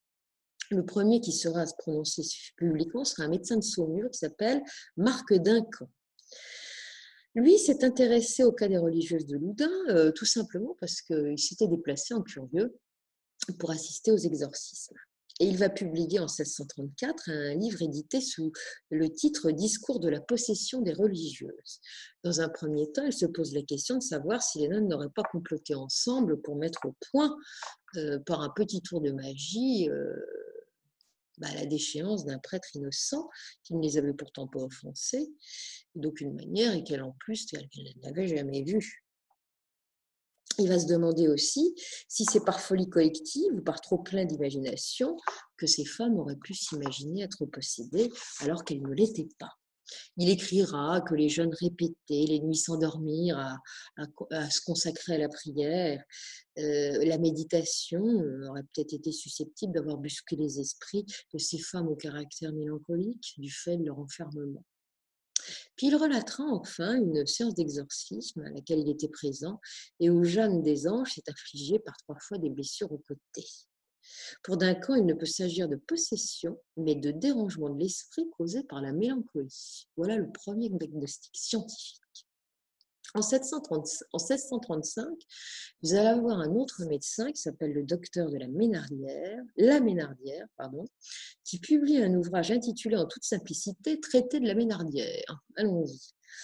Euh, lui répond à son confrère Duncan, avec lequel il n'est pas tout à fait d'accord. Il explique ainsi qu'il est impossible que la mélancolie soit la seule cause des phénomènes extraordinaires observés chez les religieuses, qu'il existe donc une cause que l'on ne peut s'expliquer derrière tous ces phénomènes. Duncan sera quand même soutenu par un autre confrère, le docteur Seguin, qui exerce à Tours. Lui aussi a approché les religieuses de Loudun, lui aussi a vu les exorcismes. Il ne publiera rien, mais écrira à divers euh, collègues de ses amis pour expliquer dans un premier temps son désaccord avec la thèse de la Ménardière et soutenir celle de Duncan. Puis peu à peu, il va évoluer quand même dans son jugement. Le 10 octobre 1634, il va écrire une de ses relations que les religieuses qu'il a interrogées ne lui avaient pas paru fourbes. Tout au contraire, elles avaient répondu avec une grande naïveté à ses questions. Donc la Ménardière euh, se dira fort étonnée de constater euh, qu'elles avaient l'air honnêtes et que pour autant il avait bien vu leurs convulsions. Et ces convulsions qui cessaient immédiatement au commandement de l'exorciste. Bon, évidemment, euh, ça ne constituait pas à ses yeux en soi une preuve de possession, et ça pouvait très bien aussi venir d'une maladie de l'esprit. Mais enfin, il a tout de même un doute. Et oui, une particularité de comportement a impressionné ce bon docteur Seguin, en l'occurrence leur faculté de parler en langue. Et oui, parce que parfois les sœurs s'exprimaient dans des langues qu'elles ne connaissaient pas auparavant, et ça, il l'a bien entendu de ses oreilles. Il y aurait peut-être une petite diablerie là-dessous tout de même. Finalement, euh, tout compte fait, euh, Seguin dira qu'il croit à l'influence du diable. En 735, c'est un certain Pidou, médecin à Poitiers, qui publie à son tour. Alors, il va, il va en faire une tartine, si je puis dire, deux ouvrages très documentés, mais alors plutôt singuliers parce qu'il va s'étendre sur l'influence des astres, euh, sur la divination, les arts de la divination, citant à, à grande brassée tantôt Euclide, tantôt Archimède. Bon, le discours est confus, on n'y comprend rien, enfin, c'est pas vraiment scientifique.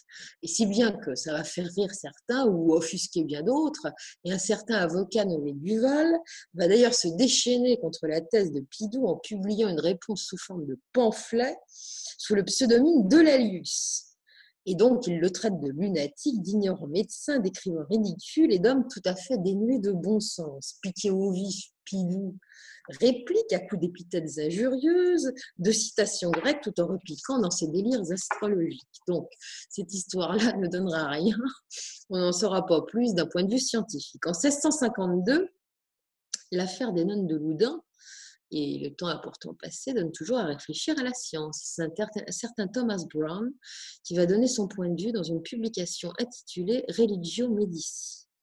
Pour Brown, la possession du diable existe indubitablement chez les nonnes loudanaises, euh, mais elle pouvait très bien souffrir également de mélancolie. En 1658, c'est un dénommé Digby. Alors, il y a beaucoup d'anglais. Hein. C'est des médecins qui exerçaient en France, mais qui étaient d'origine euh, anglaise, britannique. Alors Digby euh, se lance à ton tour, publie un écrit plus scientifique, euh, où, disons-le, il écrit que les maladies convulsives se propagent par contamination de l'imagination et que c'est probablement ce qui s'est passé au sein du courant de Loudun. En 1675, 18 ans plus tard, on s'intéresse toujours à l'affaire. Et cette fois, c'est un, certain Gilles Ménage, qui lui n'est pas du tout un scientifique, qui va évoquer dans un écrit l'injuste accusation et condamnation de l'abbé Grandier et la superstition des nonnes aux choses démoniaques qui ont mené leurs victimes jusqu'au boucher. Mais c'est vraiment au 19e siècle que les choses vont commencer de façon beaucoup plus scientifique. Ça commence par un certain Pétrose qui va écrire un dictionnaire des sciences médicales et qui va le publier en 1813. Chez lui, maintenant, on qualifie, on, donne une qualification que l'on entend toujours de nos jours, qui est l'hystérie. Et il dira que les sœurs de Loudun avaient été atteintes d'hystérie, et très exactement de catalepsie hystérique. Dans la même année, vous avez un certain dénommé Montègre qui développera l'idée que les religieuses étaient enfin atteintes d'une maladie d'imitation, presque toujours compliquée d'hystérie. L'hystérie est devenue à la mode au XIXe siècle. L'année suivante, en 1814, c'est un certain docteur Esquirol qui qualifiera la maladie des religieuses de démonomanie. Pour lui, c'est clair, ces femmes ont usé de supercherie. Et puis, il y aura l'hypothèse d'un certain docteur Charles Sauzet. Euh, et c'est surtout euh, ce médecin du nom de Charles Sauzet à qui on doit un ouvrage de référence sur le cas des possédés de Loudun. Celui-ci va publier en effet en 1839 un essai médico-historique sur les possédés de Loudun. Et contrairement à ses prédécesseurs, dont il a cité tous les noms et euh, toutes leurs observations et ce qu'ils ont écrits, il entre dans le détail sur chaque, euh, sur chaque euh, comment dirais-je, chaque personne qui aurait été possédée. Et en se basant sur les descriptions et les indications qui ont été rapportées par tous les protagonistes euh, que j'ai visés tout à l'heure, que j'ai évoqués tout à l'heure. Et il va livrer ses diagnostics. Ainsi, pour Merjam des Anges, que dit-il? Bon, on sait que c'est à, cause d'elle que tout a commencé. Et ce médecin va se poser sur sa petite enfance. Et oui, Jeanne de Belsier, euh, il lui est arrivé quelque chose d'assez grave. Bon, c'est une femme qui est issue de la petite noblesse, euh, qui deviendra donc euh, plus tard sœur Jeanne des Anges, mais à 5 ans, elle est victime d'un grave accident. Et ce grave accident va lui disloquer le corps, au point qu'elle en restera bossue. Et elle n'a pas de chance, la pauvre petite fille, c'est qu'elle est, elle est vraiment vilaine elle est peu avenante.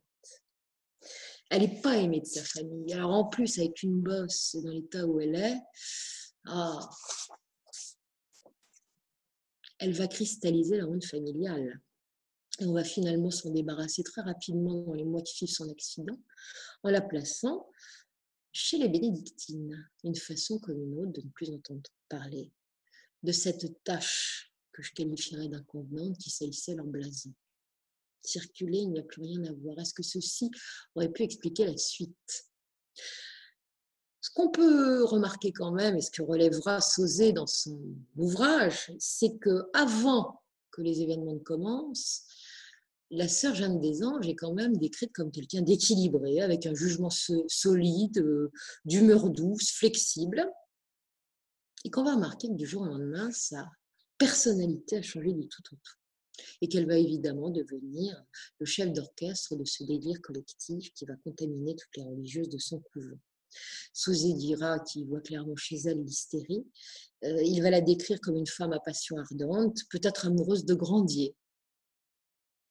Sauzé pense que du fait de son physique disgracieux, qui était, elle était probablement très complexée, et que quand il aurait refusé sa proposition de devenir le confesseur de son couvent, elle se soit sentie comme rejetée. Et à partir de là, effectivement, parce que c'était un temps un peu concomitant, je vous l'avais expliqué tout à l'heure, eh bien, euh, on pourrait dire qu'elle est, sautée un plomb, comme on dit vulgairement, et qu'à partir de ce moment-là, euh, eh bien, elle lui en aurait voulu à mort et se serait vengée d'une manière comme d'une autre, en entraînant bien évidemment toutes les autres religieuses dans son délire et dans sa monstrueuse histoire. possible. Et puis, il y a également Sœur Claire, euh, Claire de Sazilly, dont j'ai parlé tout à l'heure, celle qui euh, avait mis le paquet euh, dans la collégiale, dans l'érotomanie. Et il l'a décrit comme mélancolique de nature. Il va rappeler ses graves crises de convulsions, ses délires, ses invraisemblables démonstrations érotiques en public. Et puis surtout le fait que cette religieuse a avoué à un moment que tout ça c'était de la comédie. Pour Sauzet, cette manne se serait certainement nourrie de fantasmes à l'égard de Grandier. Il rappelle d'ailleurs euh, que devant les juges, elle aurait évoqué sa concupiscence marquée euh, à l'égard de celui-ci. Elle était très attirée par lui. Et le jour de son supplice, elle va tomber dans les pommes et on va avoir beaucoup de mal à la réanimer. Visiblement, elle est très atteinte par la mort de Grandier. Ce qui est surprenant quand même, c'est le fait qu'elle soit allée aussi loin dans ses démonstrations, si ce n'était que de la pure comédie. Et ça, Sauzé va l'écrire et c'est intéressant ce qu'il dit. Parce qu'il va rappeler un fait qui s'est passé le 10 mai 1635 devant Gaston d'Orléans, le frère du roi, qui était venu à Loudun, comme je vous l'ai dit. Elle va montrer durant l'exorcisme un état de délire absolu accompagné de crises de catalepsie absolument violentes, que, que va qualifier d'ailleurs de catalepsie hystérique, et il va, il va, il va préciser également que c'était, vraiment très, très curieux, euh, violent même. Surtout qu'elle n'avait jamais vu Grandier. Alors a-t-elle fantasmé sur sa beauté, sur les aventures sexuelles que l'on colportait en ville euh, et qui, qui revenaient jusqu'aux oreilles des sœurs du couvent? En tout cas, il y avait une connotation érotomane très prononcée euh, chez Claire de Sazilly, au niveau du corps et également de l'esprit. Mais ce qui, ce qui, va quand même étonner le docteur Sauzet, c'est qu'après la mort de Grandier, Claire de Sazilly euh, va continuer à avoir des troubles, euh, et notamment une érotomanie extrêmement prononcée jusqu'à un âge avancé. Donc ça, c'est quand même assez curieux.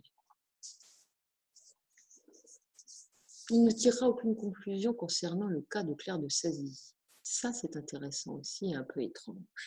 Alors, il y a Sœur Agnès également, qui avait été une, dépossédée, Agnès de la Motte. Elle était jolie, jeune et fort enjouée. Si enjouée et si belle qu'on l'appelait au couvent le beau petit diable. C'est vraiment. C'était prémonitoire. Elle aussi présentait souvent des signes de catalepsie. Alors elle, c'était spécial. D'un seul coup, elle semblait dormir profondément. Elle était insensible à tout. Elle était aussi raide qu'un bout de bois et son corps pesait, on ne pouvait pas la déplacer. Elle aussi s'est rétractée en déclarant qu'elle n'avait jamais été possédée, qu'elle avait joué la comédie. Elle sera exorcisée également devant le frère du roi, Gaston d'Orléans, le 9 mai 1635, et on va avoir un truc absolument extraordinaire. On va la voir s'agiter en tous sens, en poussant des grognements, le visage déformé, méconnaissable et le regard furieux, mais surtout tirant une langue prodigieusement grosse et longue, euh, et longue qui paraissait comme velue. Qui, ça a vraiment écuré les, assistants, puisque puisqu'elle était si belle. De voir cette jeune fille se transformer dans une telle horreur, ça les a vraiment choqués.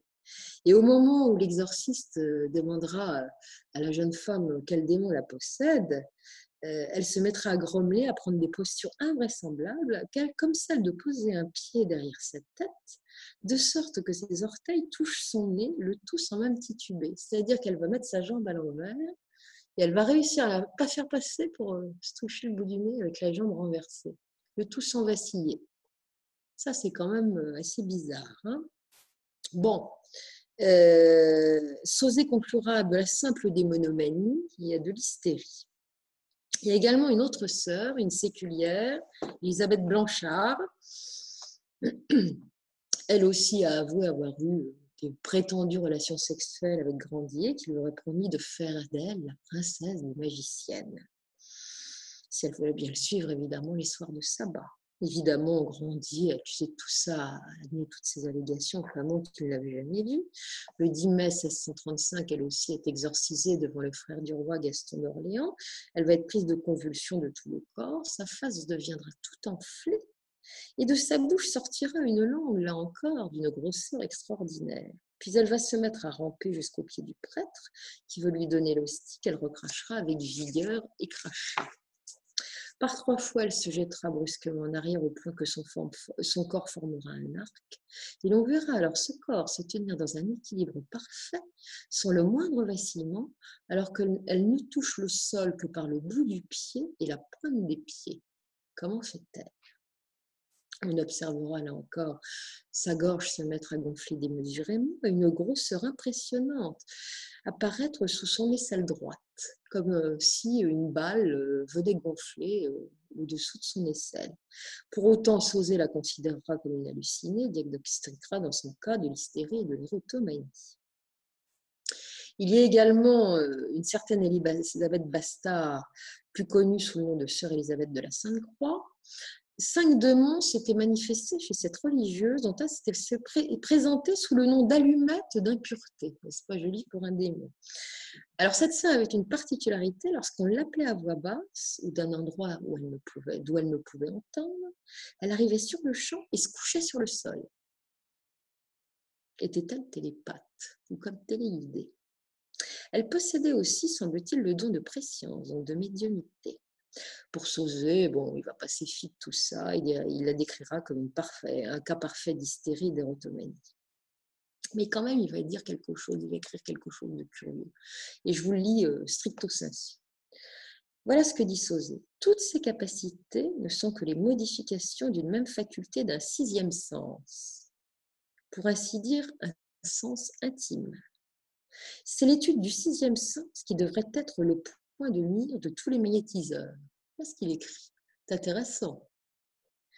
Pour Sauzé, donc, toutes les sœurs du couvent étaient en fait d'atteintes de névroses diverses, d'aliénation mentale, elles souffraient d'un état morbide du cerveau. Il précisera que la catalepsie et l'hystérie vont ensemble et ont leur siège dans le cerveau euh, comme dans l'utérus. Tiens, drôle d'idée. Il se dirait également persuadé que les religieux de Loudun se seraient contaminés par imagination et imitation. Et pour faire simple, bah, il nous parle d'hystérie collective.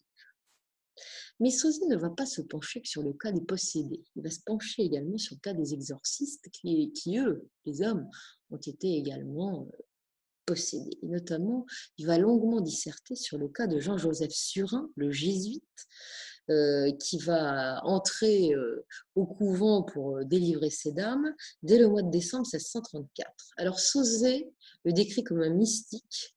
il va le rappeler qu'il aurait eu une vision à 13 ans durant des vêpres. Une lumière surnaturelle lui serait apparue et l'aurait entouré. À la suite de cela, il serait rentré chez les jésuites vers 15 ou 16 ans. Alors, c'était un illuminé qui portait en permanence un cilice et s'infligeait chaque jour la discipline. Je ne sais pas si vous avez vu euh, le Da Vinci Code, mais il y avait un, prêtre albinos qui portait le cilice et s'infligeait la discipline. Bah, sur un, c'est la même chose. C'est lui qui dira avoir euh, ressenti la présence des démons dans le couvent dès janvier 1635. Euh, il enverra, lui aussi, euh, notamment se présenter sous le nom d'Iscaron, qui est le démon de l'impureté, et sous des faces différentes, telles des chiens ou des serpents. Il se plaindra de ce que tous ces démons ont provoqué chez lui des désirs de volupté, que pendant un an, un démon serpent s'est emparé de son corps jusqu'à ce qu'il lui déclare ouvertement la guerre. À plusieurs reprises, comme je l'ai dit, on, constatera durant des exorcismes qu'il dirige, il est comme saisi et devient soudainement muet, et que d'autres exorcistes devaient se porter à la rescousse et l'exorciser à son tour, et lui donner ensuite le Saint-Sacrement pour le délivrer euh, de tout cela. Plusieurs d'entre eux diront avoir vu clairement le démon disparaître du visage d'une sœur possédée qu'il était en train d'exorciser pour venir immédiatement se poser sur celui dessus qui devenait alors aussitôt muet. Et un vendredi saint, alors qu'il se trouve en présence de 8 à 10 personnes, le voilà victime de nausées violentes et de terribles maux de ventre. Il hurlera et se tordra de douleur durant une heure. On le verra aussi convulser et hurler durant tous les exorcismes qui se poursuivront jusqu'à ce qu'on lui donne l'hostie.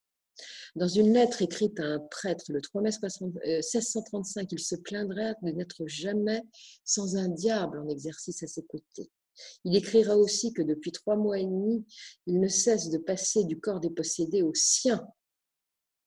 que ce diable le renverse et l'agite durant des heures comme un énergumène. Il expliquera qu'il a le sentiment que son esprit s'unit à celui du démon qui le possède tout en ayant la conscience euh, d'avoir deux âmes. Deux âmes qui se combattent en lui et hurlent à travers sa bouche. Que quand il veut faire le signe de la croix, il n'y parvient pas. Quand il veut le faire sur sa bouche, car malgré lui, il mord son doigt avec rage, et ce jusqu'au sang. Il se plaint de ne jamais avoir un instant de répit, qu'il reste muet au moment de se confesser, et que durant la messe, le diable lui dit Je te ferai devenir hébété. Le temps passé, son, cas va encore empirer. Il va souffrir de nausées incessantes, d'étouffements constants, de migraines atroces. Son esprit est si brouillé qu'il ne peut même plus penser. Les viandes n'ont plus de goût et le vin a le goût de l'eau. Il lui est devenu impossible de consommer du pain.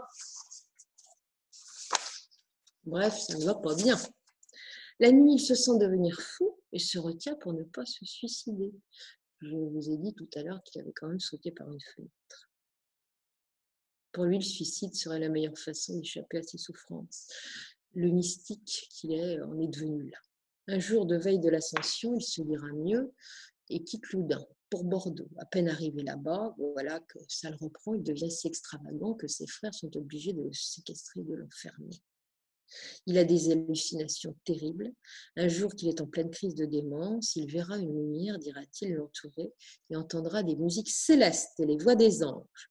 Des objets euh, fabuleux et magnifiques se présenteront alors à lui et il dira à ce moment-là qu'il a eu l'impression de sortir de l'enfer pour entrer au paradis. Et là, ce ne sera que de courte durée, mais en tout cas, après cet épisode, on lui reconnaîtra un don de prophétie. Surin prétendra aussi avoir eu une extase de deux heures durant laquelle Dieu se serait montré à lui et lui aurait dit Je veux te faire voir mon être divin. Surin dira avoir vu sa gloire en un éclair et des choses qui surpassent la pensée, et c'est là que l'esprit lui reviendra peu à peu. Le docteur Sauzet décrira l'état de Surin avec beaucoup de, précision et en déduira simplement qu'il était atteint de l'affection cérébrale la plus compliquée qui soit et qu'il n'existe pas de comparable cas décrit par la science. On n'en saura pas plus. Mais il ajoutera quand même que, comme durant son enfance, Surin avait fait le vœu d'abstinence, Sauzet se dit bah, abstinence, c'est continence forcée. Et célibat forcé qu'il se serait imposé aurait mal tourné et aurait peut-être été la cause de tous ces maux. On peut le comprendre aisément, explique Sauzet. Jusqu'à l'âge de 34 ans, Surin euh, n'a jamais fréquenté les femmes. Euh, il en a vécu à l'écart et voilà que soudain il se retrouve dans un couvent avec des nonnettes endiablées. Euh, tombe dans le puits de la sexualité et des désirs charnels exacerbés. Ça aurait pu effectivement lui faire perdre la tête et peut-être le rendre même à moitié fou. Parce qu'après qu'il ait vu Dieu, certains le considéreront comme un saint par quelques miracles qui auraient lieu par son intercession, mais il y avait le reste. En tout cas, malgré tous ces dérangements, euh, il reviendra, semble-t-il, un peu mieux au bout de 25 ans, continuera toujours dans les pas de Thérèse d'Avila qu'il vénérait et dont il se disait le disciple. Euh, en dira, euh, elle était hallucinée et lui devint fou. Je vous raconterai un jour l'histoire de Thérèse d'Avila qui n'est pas triste du tout. Est-ce que c'est encore quelque chose d'intéressant? Alors, il y a également le cas d'un autre moine qui était à Récollet, Gabriel Lactance. Gabriel Lactance deviendra exorciste dès avril 1634. Celui-là était un acharné. Il haïssait le curé Grandier. voici que le 18 août, 18 août 1634, à son tour, il est pris d'un accès de folie et se met à le frapper comme un malade, le pauvre Grandier, alors qu'il était en train de subir la question, tout en prenant, il prononce d'horribles imprécations à l'égard de Grandier. Lorsque Grandier se plaindra sur le bûcher que l'on n'ait pas tenu la promesse de l'étrangler, c'est ce récollet, Gabriel Lactance, qui va mettre le feu immédiatement au bûcher sans attendre l'ordre du lieutenant du prévôt. Après le décès de Grandier, Le récollet lactance voudra à tout prix poursuivre les exorcismes sur les possédés de Loudun. Mais au coup, le bruit maintenant c'est lui-même qui est possédé. Ce boine est devenu la haine personnifiée. Et il va vivre de curieux incidents, comme par deux fois, sa voiture va inexplicablement verser dans un fossé, sans aucune raison, sans aucune cause. Il commencera aussi à avouer à cette période qu'il est tenté par le mal, hein, qu'il devient parfois aveugle, souffre de troubles de la mémoire et de terribles douleurs au cœur. Celui-là mourra brutalement un mois après, que Grandier, lors d'une terrible crise de, euh, après, un mois après Grandier, après une terrible crise de fureur et de désespoir mêlé. Souvenez-vous ce que je vous avais dit tout à l'heure, c'est Grandier lui avait dit qu'il qu'il mourrait un mois après, jour pour jour. Et c'est ce qui est arrivé. Sauzier dira de lui qu'il était atteint de manie aiguë avec fureur. Bon. Il va y avoir un autre euh, capucin, tranquille de Saint-Rémy. Alors, le moine tranquille, il a assisté lors des, des exorcismes, des, à des exorcismes euh, dès 1634 et lui euh, va mourir en 1638 de maladie. Lui aussi se déclarera possédé à un moment donné. Euh, alors ça se traduisait par euh, le fait qu'il se jetait d'un seul coup brutalement sur le sol en hurlant des horreurs et en sifflant comme un serpent, tout en ondulant. C'était assez intéressant. Il avouera lui aussi s'être senti charnellement tenté en permanence, souffrira mille maux inexplicables dans tout le corps, comme des nausées, des fièvres continues. Lors de crises soudaines, il se mettait à hurler des injures et des obscénités. Il disait avoir la conscience de tout cela sans pouvoir jamais s'en empêcher.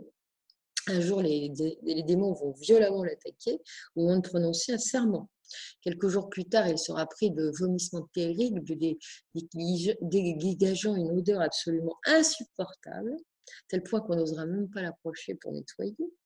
Ces hurlements seront tels que les voisins de son couvent, accourant en galop pour écouter derrière les murs ce qui est en train de se passer et se demandent ce qui se passe vraiment, c'est terrible.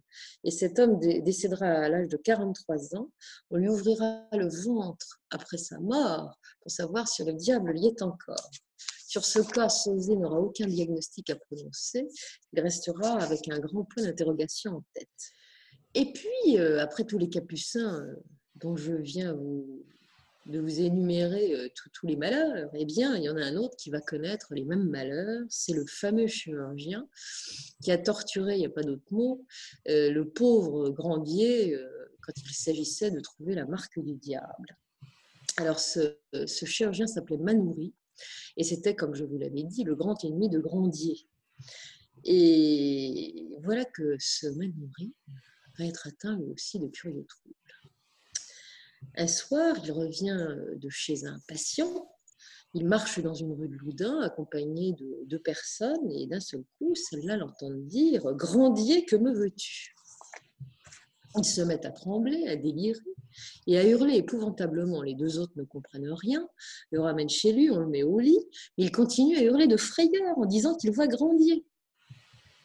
Eh bien, figurez-vous qu'il mourra quelques jours plus tard, en se débattant contre les attaques d'un grandier que, lui seul voyait, Sauzé en dira tout simplement qu'il souffrait d'hallucinations. Ah oui, c'est quand même étrange. Alors, tout ça, ça nous mène au grand scientifique qui a vraiment étudié l'hystérie et qui a inspiré euh, un, grand, un grand psychiatre euh, dont je reparlerai tout à l'heure. Alors, ce célèbre médecin, il s'agit du docteur Charcot, qui entre 1880 et 1890 va transformer le cas des religieuses de Loudun en un cas d'école, dont on parle aujourd'hui encore dans les écoles de médecine en France.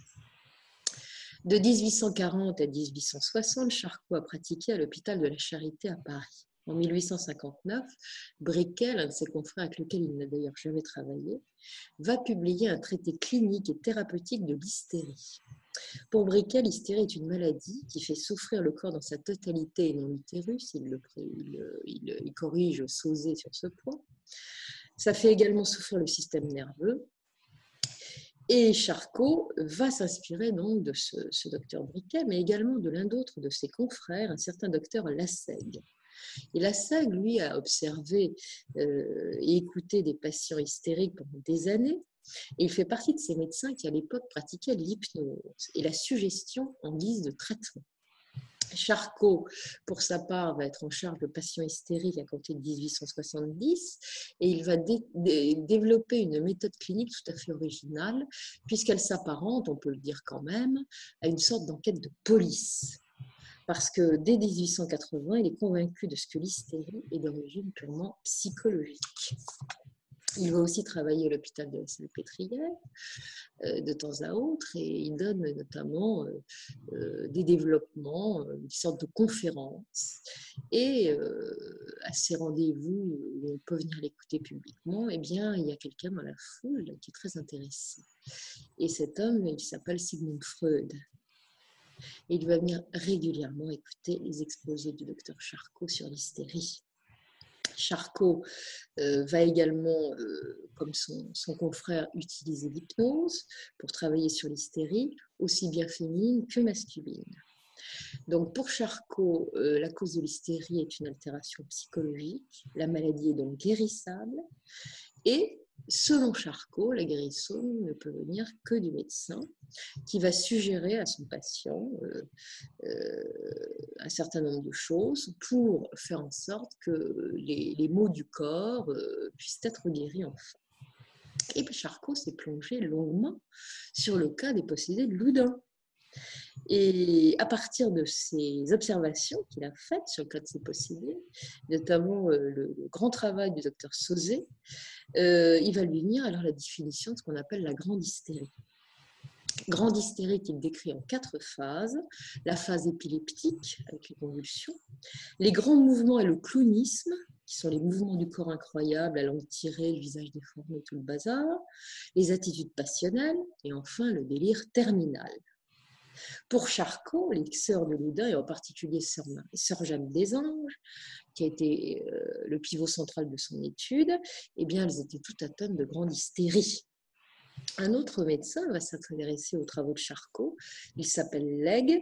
Il écrira à propos des, possédés Pour ces filles, tromper ceux qui les entourent est une véritable passion. L'aigle relèvera que la contagion est un trait caractéristique de l'hystérie. C'est ainsi que, d'après lui, Jeanne Desanges aurait contaminé toutes ses filles.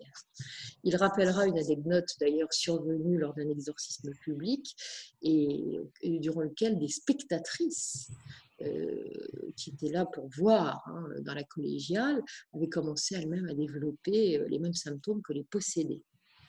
Alors, pour en revenir à Charcot, il est persuadé que la grande hystérie a à voir avec la sexualité.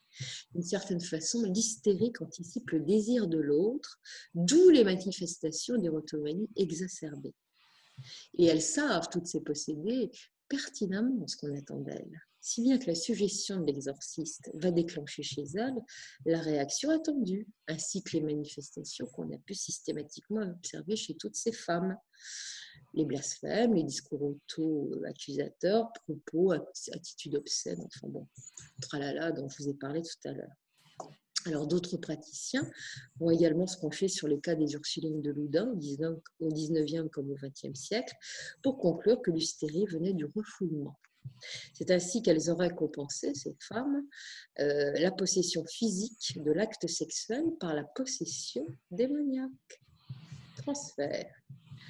Freud sera très impressionné, pour ne pas dire ébloui, par les travaux de Charcot. Lui aussi a réfléchi dans le cas des possédés de Loudun. Il publiera d'ailleurs en 1923 un ouvrage intitulé Une névrose diabolique au XVIIe siècle. C'est exclusivement consacré au cas des possédés de Loudun. Et voici un extrait de ce que dit Freud, ce qu'écrit Freud. Nous n'avons pas à être étonnés que les névroses des temps précoces entrent en scène sous un vêtement démonologique. Les possessions correspondent à nos névroses pour lesquelles nous recourrons à nouveau à des puissances psychiques. Les démons sont pour nous des souhaits mauvais, réprouvés, des rejetons de notions pulsionnelles écartées, refoulées. Nous leur faisons prendre naissance dans la vie intérieure des malades, là où elles ont leur demeure. Pour faire simple, les démons de Jeanne des Anges, en tant que manifestation de sa libido exacerbée, ne sont pas acceptés d'elle et sont donc représentés comme extérieurs. Si on se réfère aux travaux de Charcot, quant à la contagion, qui est une des conséquences de l'hystérie, Pourrait-on dire que Suran, lui aussi, aurait été atteint du même mal que Jeanne des Anges D'accord pour l'hystérie, mais tout de même, si on y réfléchit bien, comment expliquer certains phénomènes que je qualifierais de paranormaux et qui ont, été, qui ont émaillé ces histoires? Comment expliquer que lors d'une séance d'exorcisme, Jeanne des Anges vomisse la tige d'une plume ainsi qu'un doigt, un doigt, un doigt, hein que d'autres religieuses vomissent des cendres, des pépins d'orange et une grenade. Ça, c'est le cas de Sœur qui était possédée par un certain Asmodée. Je veux bien qu'il y ait des postures incroyables chez les, possédés, comme les renversements en arrière, en arc, qui sont une caractéristique de l'hystérie, comme a dit Charcot. Mais tout de même, un jour d'ailleurs, euh, Surin lui-même s'était étonné de ces postures invraisemblables prises par les, possédés. Il va ainsi écrire dans son journal. Voilà ce que dit Surin. J'ai vu une chose qui me surprit beaucoup, quoique d'ordinaire à toutes les possédées, à toutes les possédées. C'est qu'en étant renversées en arrière, la tête leur venant au talon, elles marchèrent ainsi à une vitesse surprenante et fort longtemps. Il va encore dire, je vis une aussi, qui s'étant relevée se frappait la poitrine et les épaules avec sa tête, mais d'une si grande vitesse et rudement qu'il n'y a au monde pour agile qui soit, qui puisse rien faire qui en approche. Un autre témoin qui a assisté à un de ces exorcistes dira aussi dans leurs assouplissements, elles deviennent souples et maniables comme des lames de plomb, en sorte qu'on leur pliait le corps en tous sens, en devant, en arrière, sur les côtés, jusqu'à ce que la tête touchât par terre. Et elles restaient dans la pose où on les laissait jusqu'à ce que l'on changeât leur attitude. Et ça pouvait durer un moment. Une dame de la noblesse présente aux côtés de Gaston d'Orléans lors d'une de, ses visites euh, à Loudun va, va être effarée par les postures invraisemblables des religieuses. Elles ne respiraient plus, ou à peine, ne tressaillaient même pas lorsqu'on les piquait avec de grandes aiguilles. La dame va également rester sidérée par une religieuse possédée par un certain Zabulon qui portera, alors cette dame, cette religieuse, portera cinq à six fois son pied gauche jusqu'à son épaule, jusqu'à ses joues, en montrant un visage hideux, tout en tirant une langue monstrueuse, difforme et livide qui lui pendait jusque sous le menton. Que dire également de certains phénomènes inexplicables, comme celui décrit par un Anglais qui était présent à l'exorcisme de Jeanne des Anges? Voilà ce que dit cet Anglais. J'ai vu la main de la supérieure blanche comme mon collet et en un instant changer de couleur tout le long de la veine et devenir rouge. Et tout aussitôt une parole distincte naître et cette parole était Joseph. Et qu'en est-il aussi des lévitations des possédés de Loudun et de leur corps impossible à déplacer, même avec les forces conjuguées de plusieurs personnes? Que dire des dons évidents de télépathie de sœur Claire de Sazy, dont je vous parlais tout à l'heure euh, Même d'un endroit où elle n'entendait pas, elle arrivait, elle se couchait par terre. Boum Il y en a d'autres qui ont développé également des dons d'ubiquité. Comment expliquer la terrible prédiction de Grandier au mois de lactance qui s'est réalisée? Effectivement, au moment où le moine mettait le feu au bûcher, Grandier lui avait dit Je t'assigne à comparaître devant Dieu dans un mois. Et effectivement, Lactance, comme je vous l'ai dit tout à l'heure, mourra dans des hurlements et des soufflances atroces, un mois jour pour jour après le supplicié Grandier. Que dire encore de ces nuées de pigeons qui se mirent inlassablement à tourner autour de Grandier installé sur son bûcher, prêt à être embrasé, et que les archers et albardiers n'arriveront jamais à éloigner?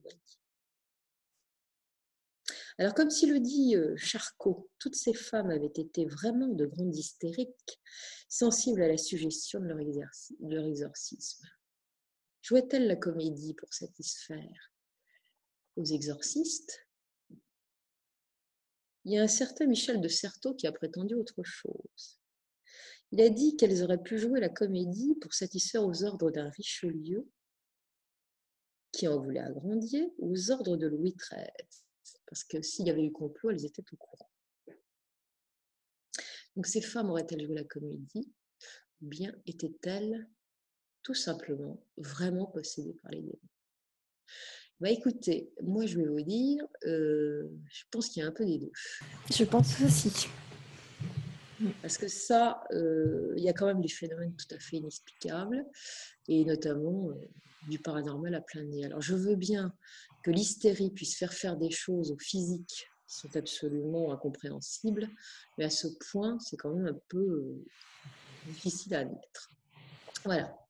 Donc c'était une drôle d'histoire. Exactement, vraiment une drôle d'histoire. Et je me suis demandé tout du long si euh, effectivement, alors euh, tu sais, avec le prêtre Grandier au départ, il a eu quand même des comportements très, on, va dire, pas très catholiques justement, avec toutes les nanas du coin. Et ah il n'y avait pas déjà cette énergie, tu sais, un peu sexuelle dans ce lieu. Et qu'effectivement, peut-être qu'il y a eu un jeu au départ, un jeu qui a amené cette énergie a encore plus euh, se décupler et donc euh, voilà la, la il était comme beaucoup de prêtres et certaines moniales d'ailleurs. Euh, à l'époque on vous l'a dit d'ailleurs l'église on, l'a dit l'église voulait reprendre les choses en main parce que les prêtres ils faisaient ce qu'ils voulaient. Ils avaient des relations sexuelles, ils avaient des maîtresses, ils avaient... Donc Grandier, il était l'exemple même, sauf qu'il était beau par rapport aux autres. Mmh. Euh, et, ces nanas euh, qui étaient dans leur couvent et qui étaient un couvent, semble-t-il, tenu d'une main de maître pour pas qu'il y ait de débauche à l'intérieur, contrairement à d'autres couvents, eh bien, euh, elles ont fantasmé probablement. Mmh. Et la sœur Marie et Jeanne des Anges, probablement la première. Et puis, il y a eu cette histoire de vengeance aussi qu'elle aurait peut-être eu vis-à-vis de Grandier, parce que c'était quelqu'un qui était difforme, comme je vous l'ai dit elle va demander pourquoi à lui Pourquoi à lui? Alors qu'on sait très bien qui il est, qu'elle le sait. Pourquoi à lui? Elle lui demande d'être le confesseur. Il y avait d'autres prêtres en ville. Elle va lui demander à lui. Lui, lui dit non, elle se sent moche. Il pense qu'il rejette la moche, elle lui en veut. Et alors, est-ce que ça a provoqué un déclic de vengeance ou un déclic de dinguerie? Euh, C'est possible. Oui, en tout cas, ce qui est étrange, c'est que ça ait continué encore trois ans après la mort de Grandier. Ah bah oui, puisque ça, là justement, on est dans la possession. Normalement, ça aurait dû s'arrêter.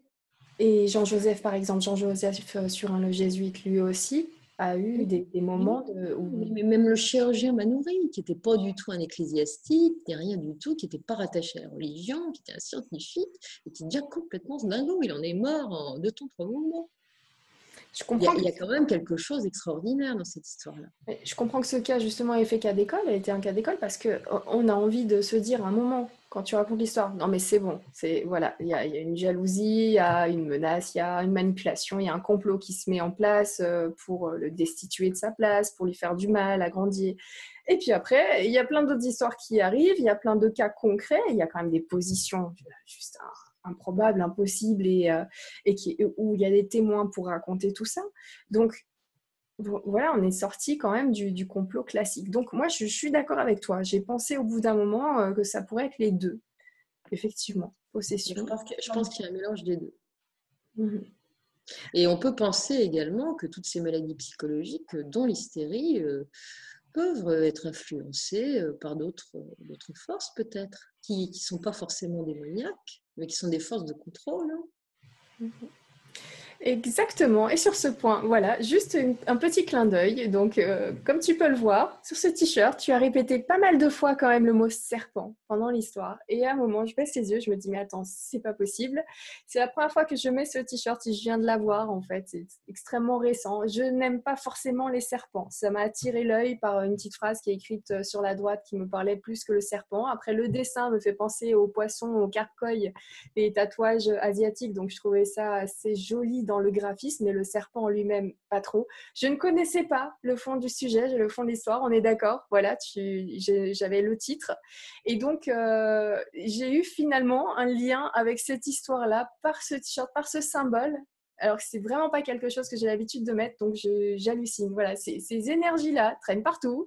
Euh, et, elles, influencent. Elles influencent. donc ce t-shirt ira à la poubelle voilà. Non, non, non, non, non il y a des gens qui seront ravis de porter ça. ne le jette pas. Qu'en plus, il y a quand même des roses. Ça atténue un peu le côté. Ça a été nul le côté serpent. C'est pour ça qu'au bout d'un moment, tu dis, bon, il y a des roses, c'est sympathique, c'est super bien dessiné, ok, mais après les serpents, je suis pas super fan. Mais là, euh, vu l'histoire et vu le fait voilà, que je l'ai mis aujourd'hui, comme par hasard, et que dans l'histoire, euh, le serpent soit relié à des choses pas super top, donc merci pour le clin d'œil, mais non merci voilà, pour le t-shirt. Après, je l'ai acheté 2 euros, hein. c'était vraiment une petite promo, un petit truc, euh, c'est pour ça que je vais me permettre de le mettre à la poubelle au revoir le petit serpent, le petit message, voilà, l'émission est faite, c'est fini, je veux plus de clin d'œil comme ça. Mais c'est vrai que c'est assez lourd, ces histoires d'exorcisme. On ne sait jamais vraiment si c'est fait à raison ou pas, si, euh, si on est vraiment dans un cas où euh, on peut penser à l'exorcisme tel qu'on peut le, le, savoir, en tout cas éviter hein, les, films d'horreur, de possession, tout ça, c'est vraiment... Euh, en même temps, vu ce que tu as dit, j'allais dire c'est vraiment dans l'extrême, mais en même temps, vu ce que tu viens de raconter, on est quand même dans ce genre de choses-là, hein, de, de clownisme, comme tu disais tout à l'heure, il y avait les quatre phases euh, différentes, les phases épileptiques, le clownisme, l'attitude euh, passionnelle et c'est cette folie donc terminale. Euh, voilà, donc on est, on est vraiment sur quelque chose d'assez extrême. Mais je sais pas finalement dans, cette histoire, je sais plus où je voulais en venir, mais c'est vrai que rien que d'y penser, tu sais, à l'exorcisme, des fois on peut se dire est-ce que c'est justifié ou pas, et finalement dans certains cas, preuve, preuve que si ça pourrait euh, être justifié. Maintenant, est-ce que ça marche ou pas? Un exorcisme qui dure trois ans, toutes ces personnes ont été influencées euh, parfois jusqu'à leur mort. Parfois, c'est ça qui a, causé aussi leur décès, ces possessions. Donc, c'est quand même quelque chose, c'est un, sujet qui n'est pas anodin. Qui... C'est pas anodin du tout et je pense que c'est plus que jamais l'actualité. Et l'erreur euh, que l'on puisse faire, la plus grosse erreur que l'on puisse faire, c'est de ne penser que le diable n'existe pas c'est le meilleur moyen d'ouvrir la porte. C'est tout. Donc, faire attention. Faire attention. Je crois, que, le pape euh, François l'a rappelé récemment, il n'y a pas que lui. Ne jamais ignorer l'ennemi. Et comme ça, ça permet de rester dans une bonne direction. C'est lui laisser la possibilité de pénétrer en douceur euh, là où il ne doit pas être. Voilà. Mais enfin, bon, je pense que là, on a affaire effectivement à des personnes qui sont fragiles et, et puis, euh, et puis de, réels cas de possession. J'en suis absolument convaincue. Oui, les possédés de Loudun. Donc euh, voilà leur histoire et c'est intense. Et je vais vous dire, euh, sous Louis XIII, il y a eu une épidémie de choses de cette nature-là. Et donc, euh, les procès étaient terribles puisque ça se terminait régulièrement sur le bûcher. Et c'est le roi Louis XIV qui, en 1682, je ne sais plus quand, enfin bon, bref, 1682, je crois bien, après l'affaire des poisons, euh, qui a décidé qu'il n'y aurait plus ces grands procès de sorcellerie où on était brûlé vif. Hein. Il avait peut-être effectivement intérêt à ce qu'on s'arrête là, parce que cette histoire des poisons, je raconterai un jour, quand même pas banal non plus. Euh, bon, ça mettait quand même un petit, un petit peu en cause euh, le gratin du gratin et ce qu'il y avait de plus haut. Et donc, euh, c'était peut-être bien qu'on n'aille pas dans un procès de sorcellerie sur une histoire comme ça. Voilà. En tout cas, c'est Louis XIV qui a mis fin au procès tragique qui ont émaillé une partie de, de, bah, qui ont émaillé pendant plusieurs siècles euh, l'histoire des Français. Hein, voilà. Mhm. Bah, merci de nous avoir apporté ces histoires. Alors moi, hop, tac, on va faire un petit truc. Voilà, on va remettre un petit peu d'amour là dans tout ça pour finir la soirée. N'oubliez pas, les gars, petit peu plus d'amour, de, gentillesse, de sympathie. Restez vraiment euh, focus là-dessus. Et tu as raison, Elisabeth, il faut connaître son ennemi justement pour faire attention. Donc, voilà, vous voyez ça comme vous voulez, les amis. Vous savez, on est sur Nuria TV, donc euh, vous prenez les informations telles qu'elles, arrivent. Si ça vous parle, bah, tant mieux. Si ça ne vous parle pas, bah, tant mieux aussi. Voilà, donc euh, j'espère que vous avez passé en tout cas un bon moment avec, en compagnie d'Elisabeth. Pour moi, ça a été le cas. J'ai encore appris une histoire incroyable. Et j'ai hâte de te retrouver, Elisabeth, une nouvelle fois sur un autre sujet on passe comme ça d'un sujet à bah, l'autre. La prochaine fois, on va faire un petit peu d'ufologie. Ça sera la surprise. Vous allez voir, je suis en train de travailler dessus. Génial. Je t'en remercie beaucoup, Elisabeth. Je vous dis à très vite, les amis. On vous dit au revoir toutes les deux. Voilà, on est toutes les deux affichées à l'écran. bonne soirée, bonne nuit. Ne faites pas de cauchemars. À bientôt.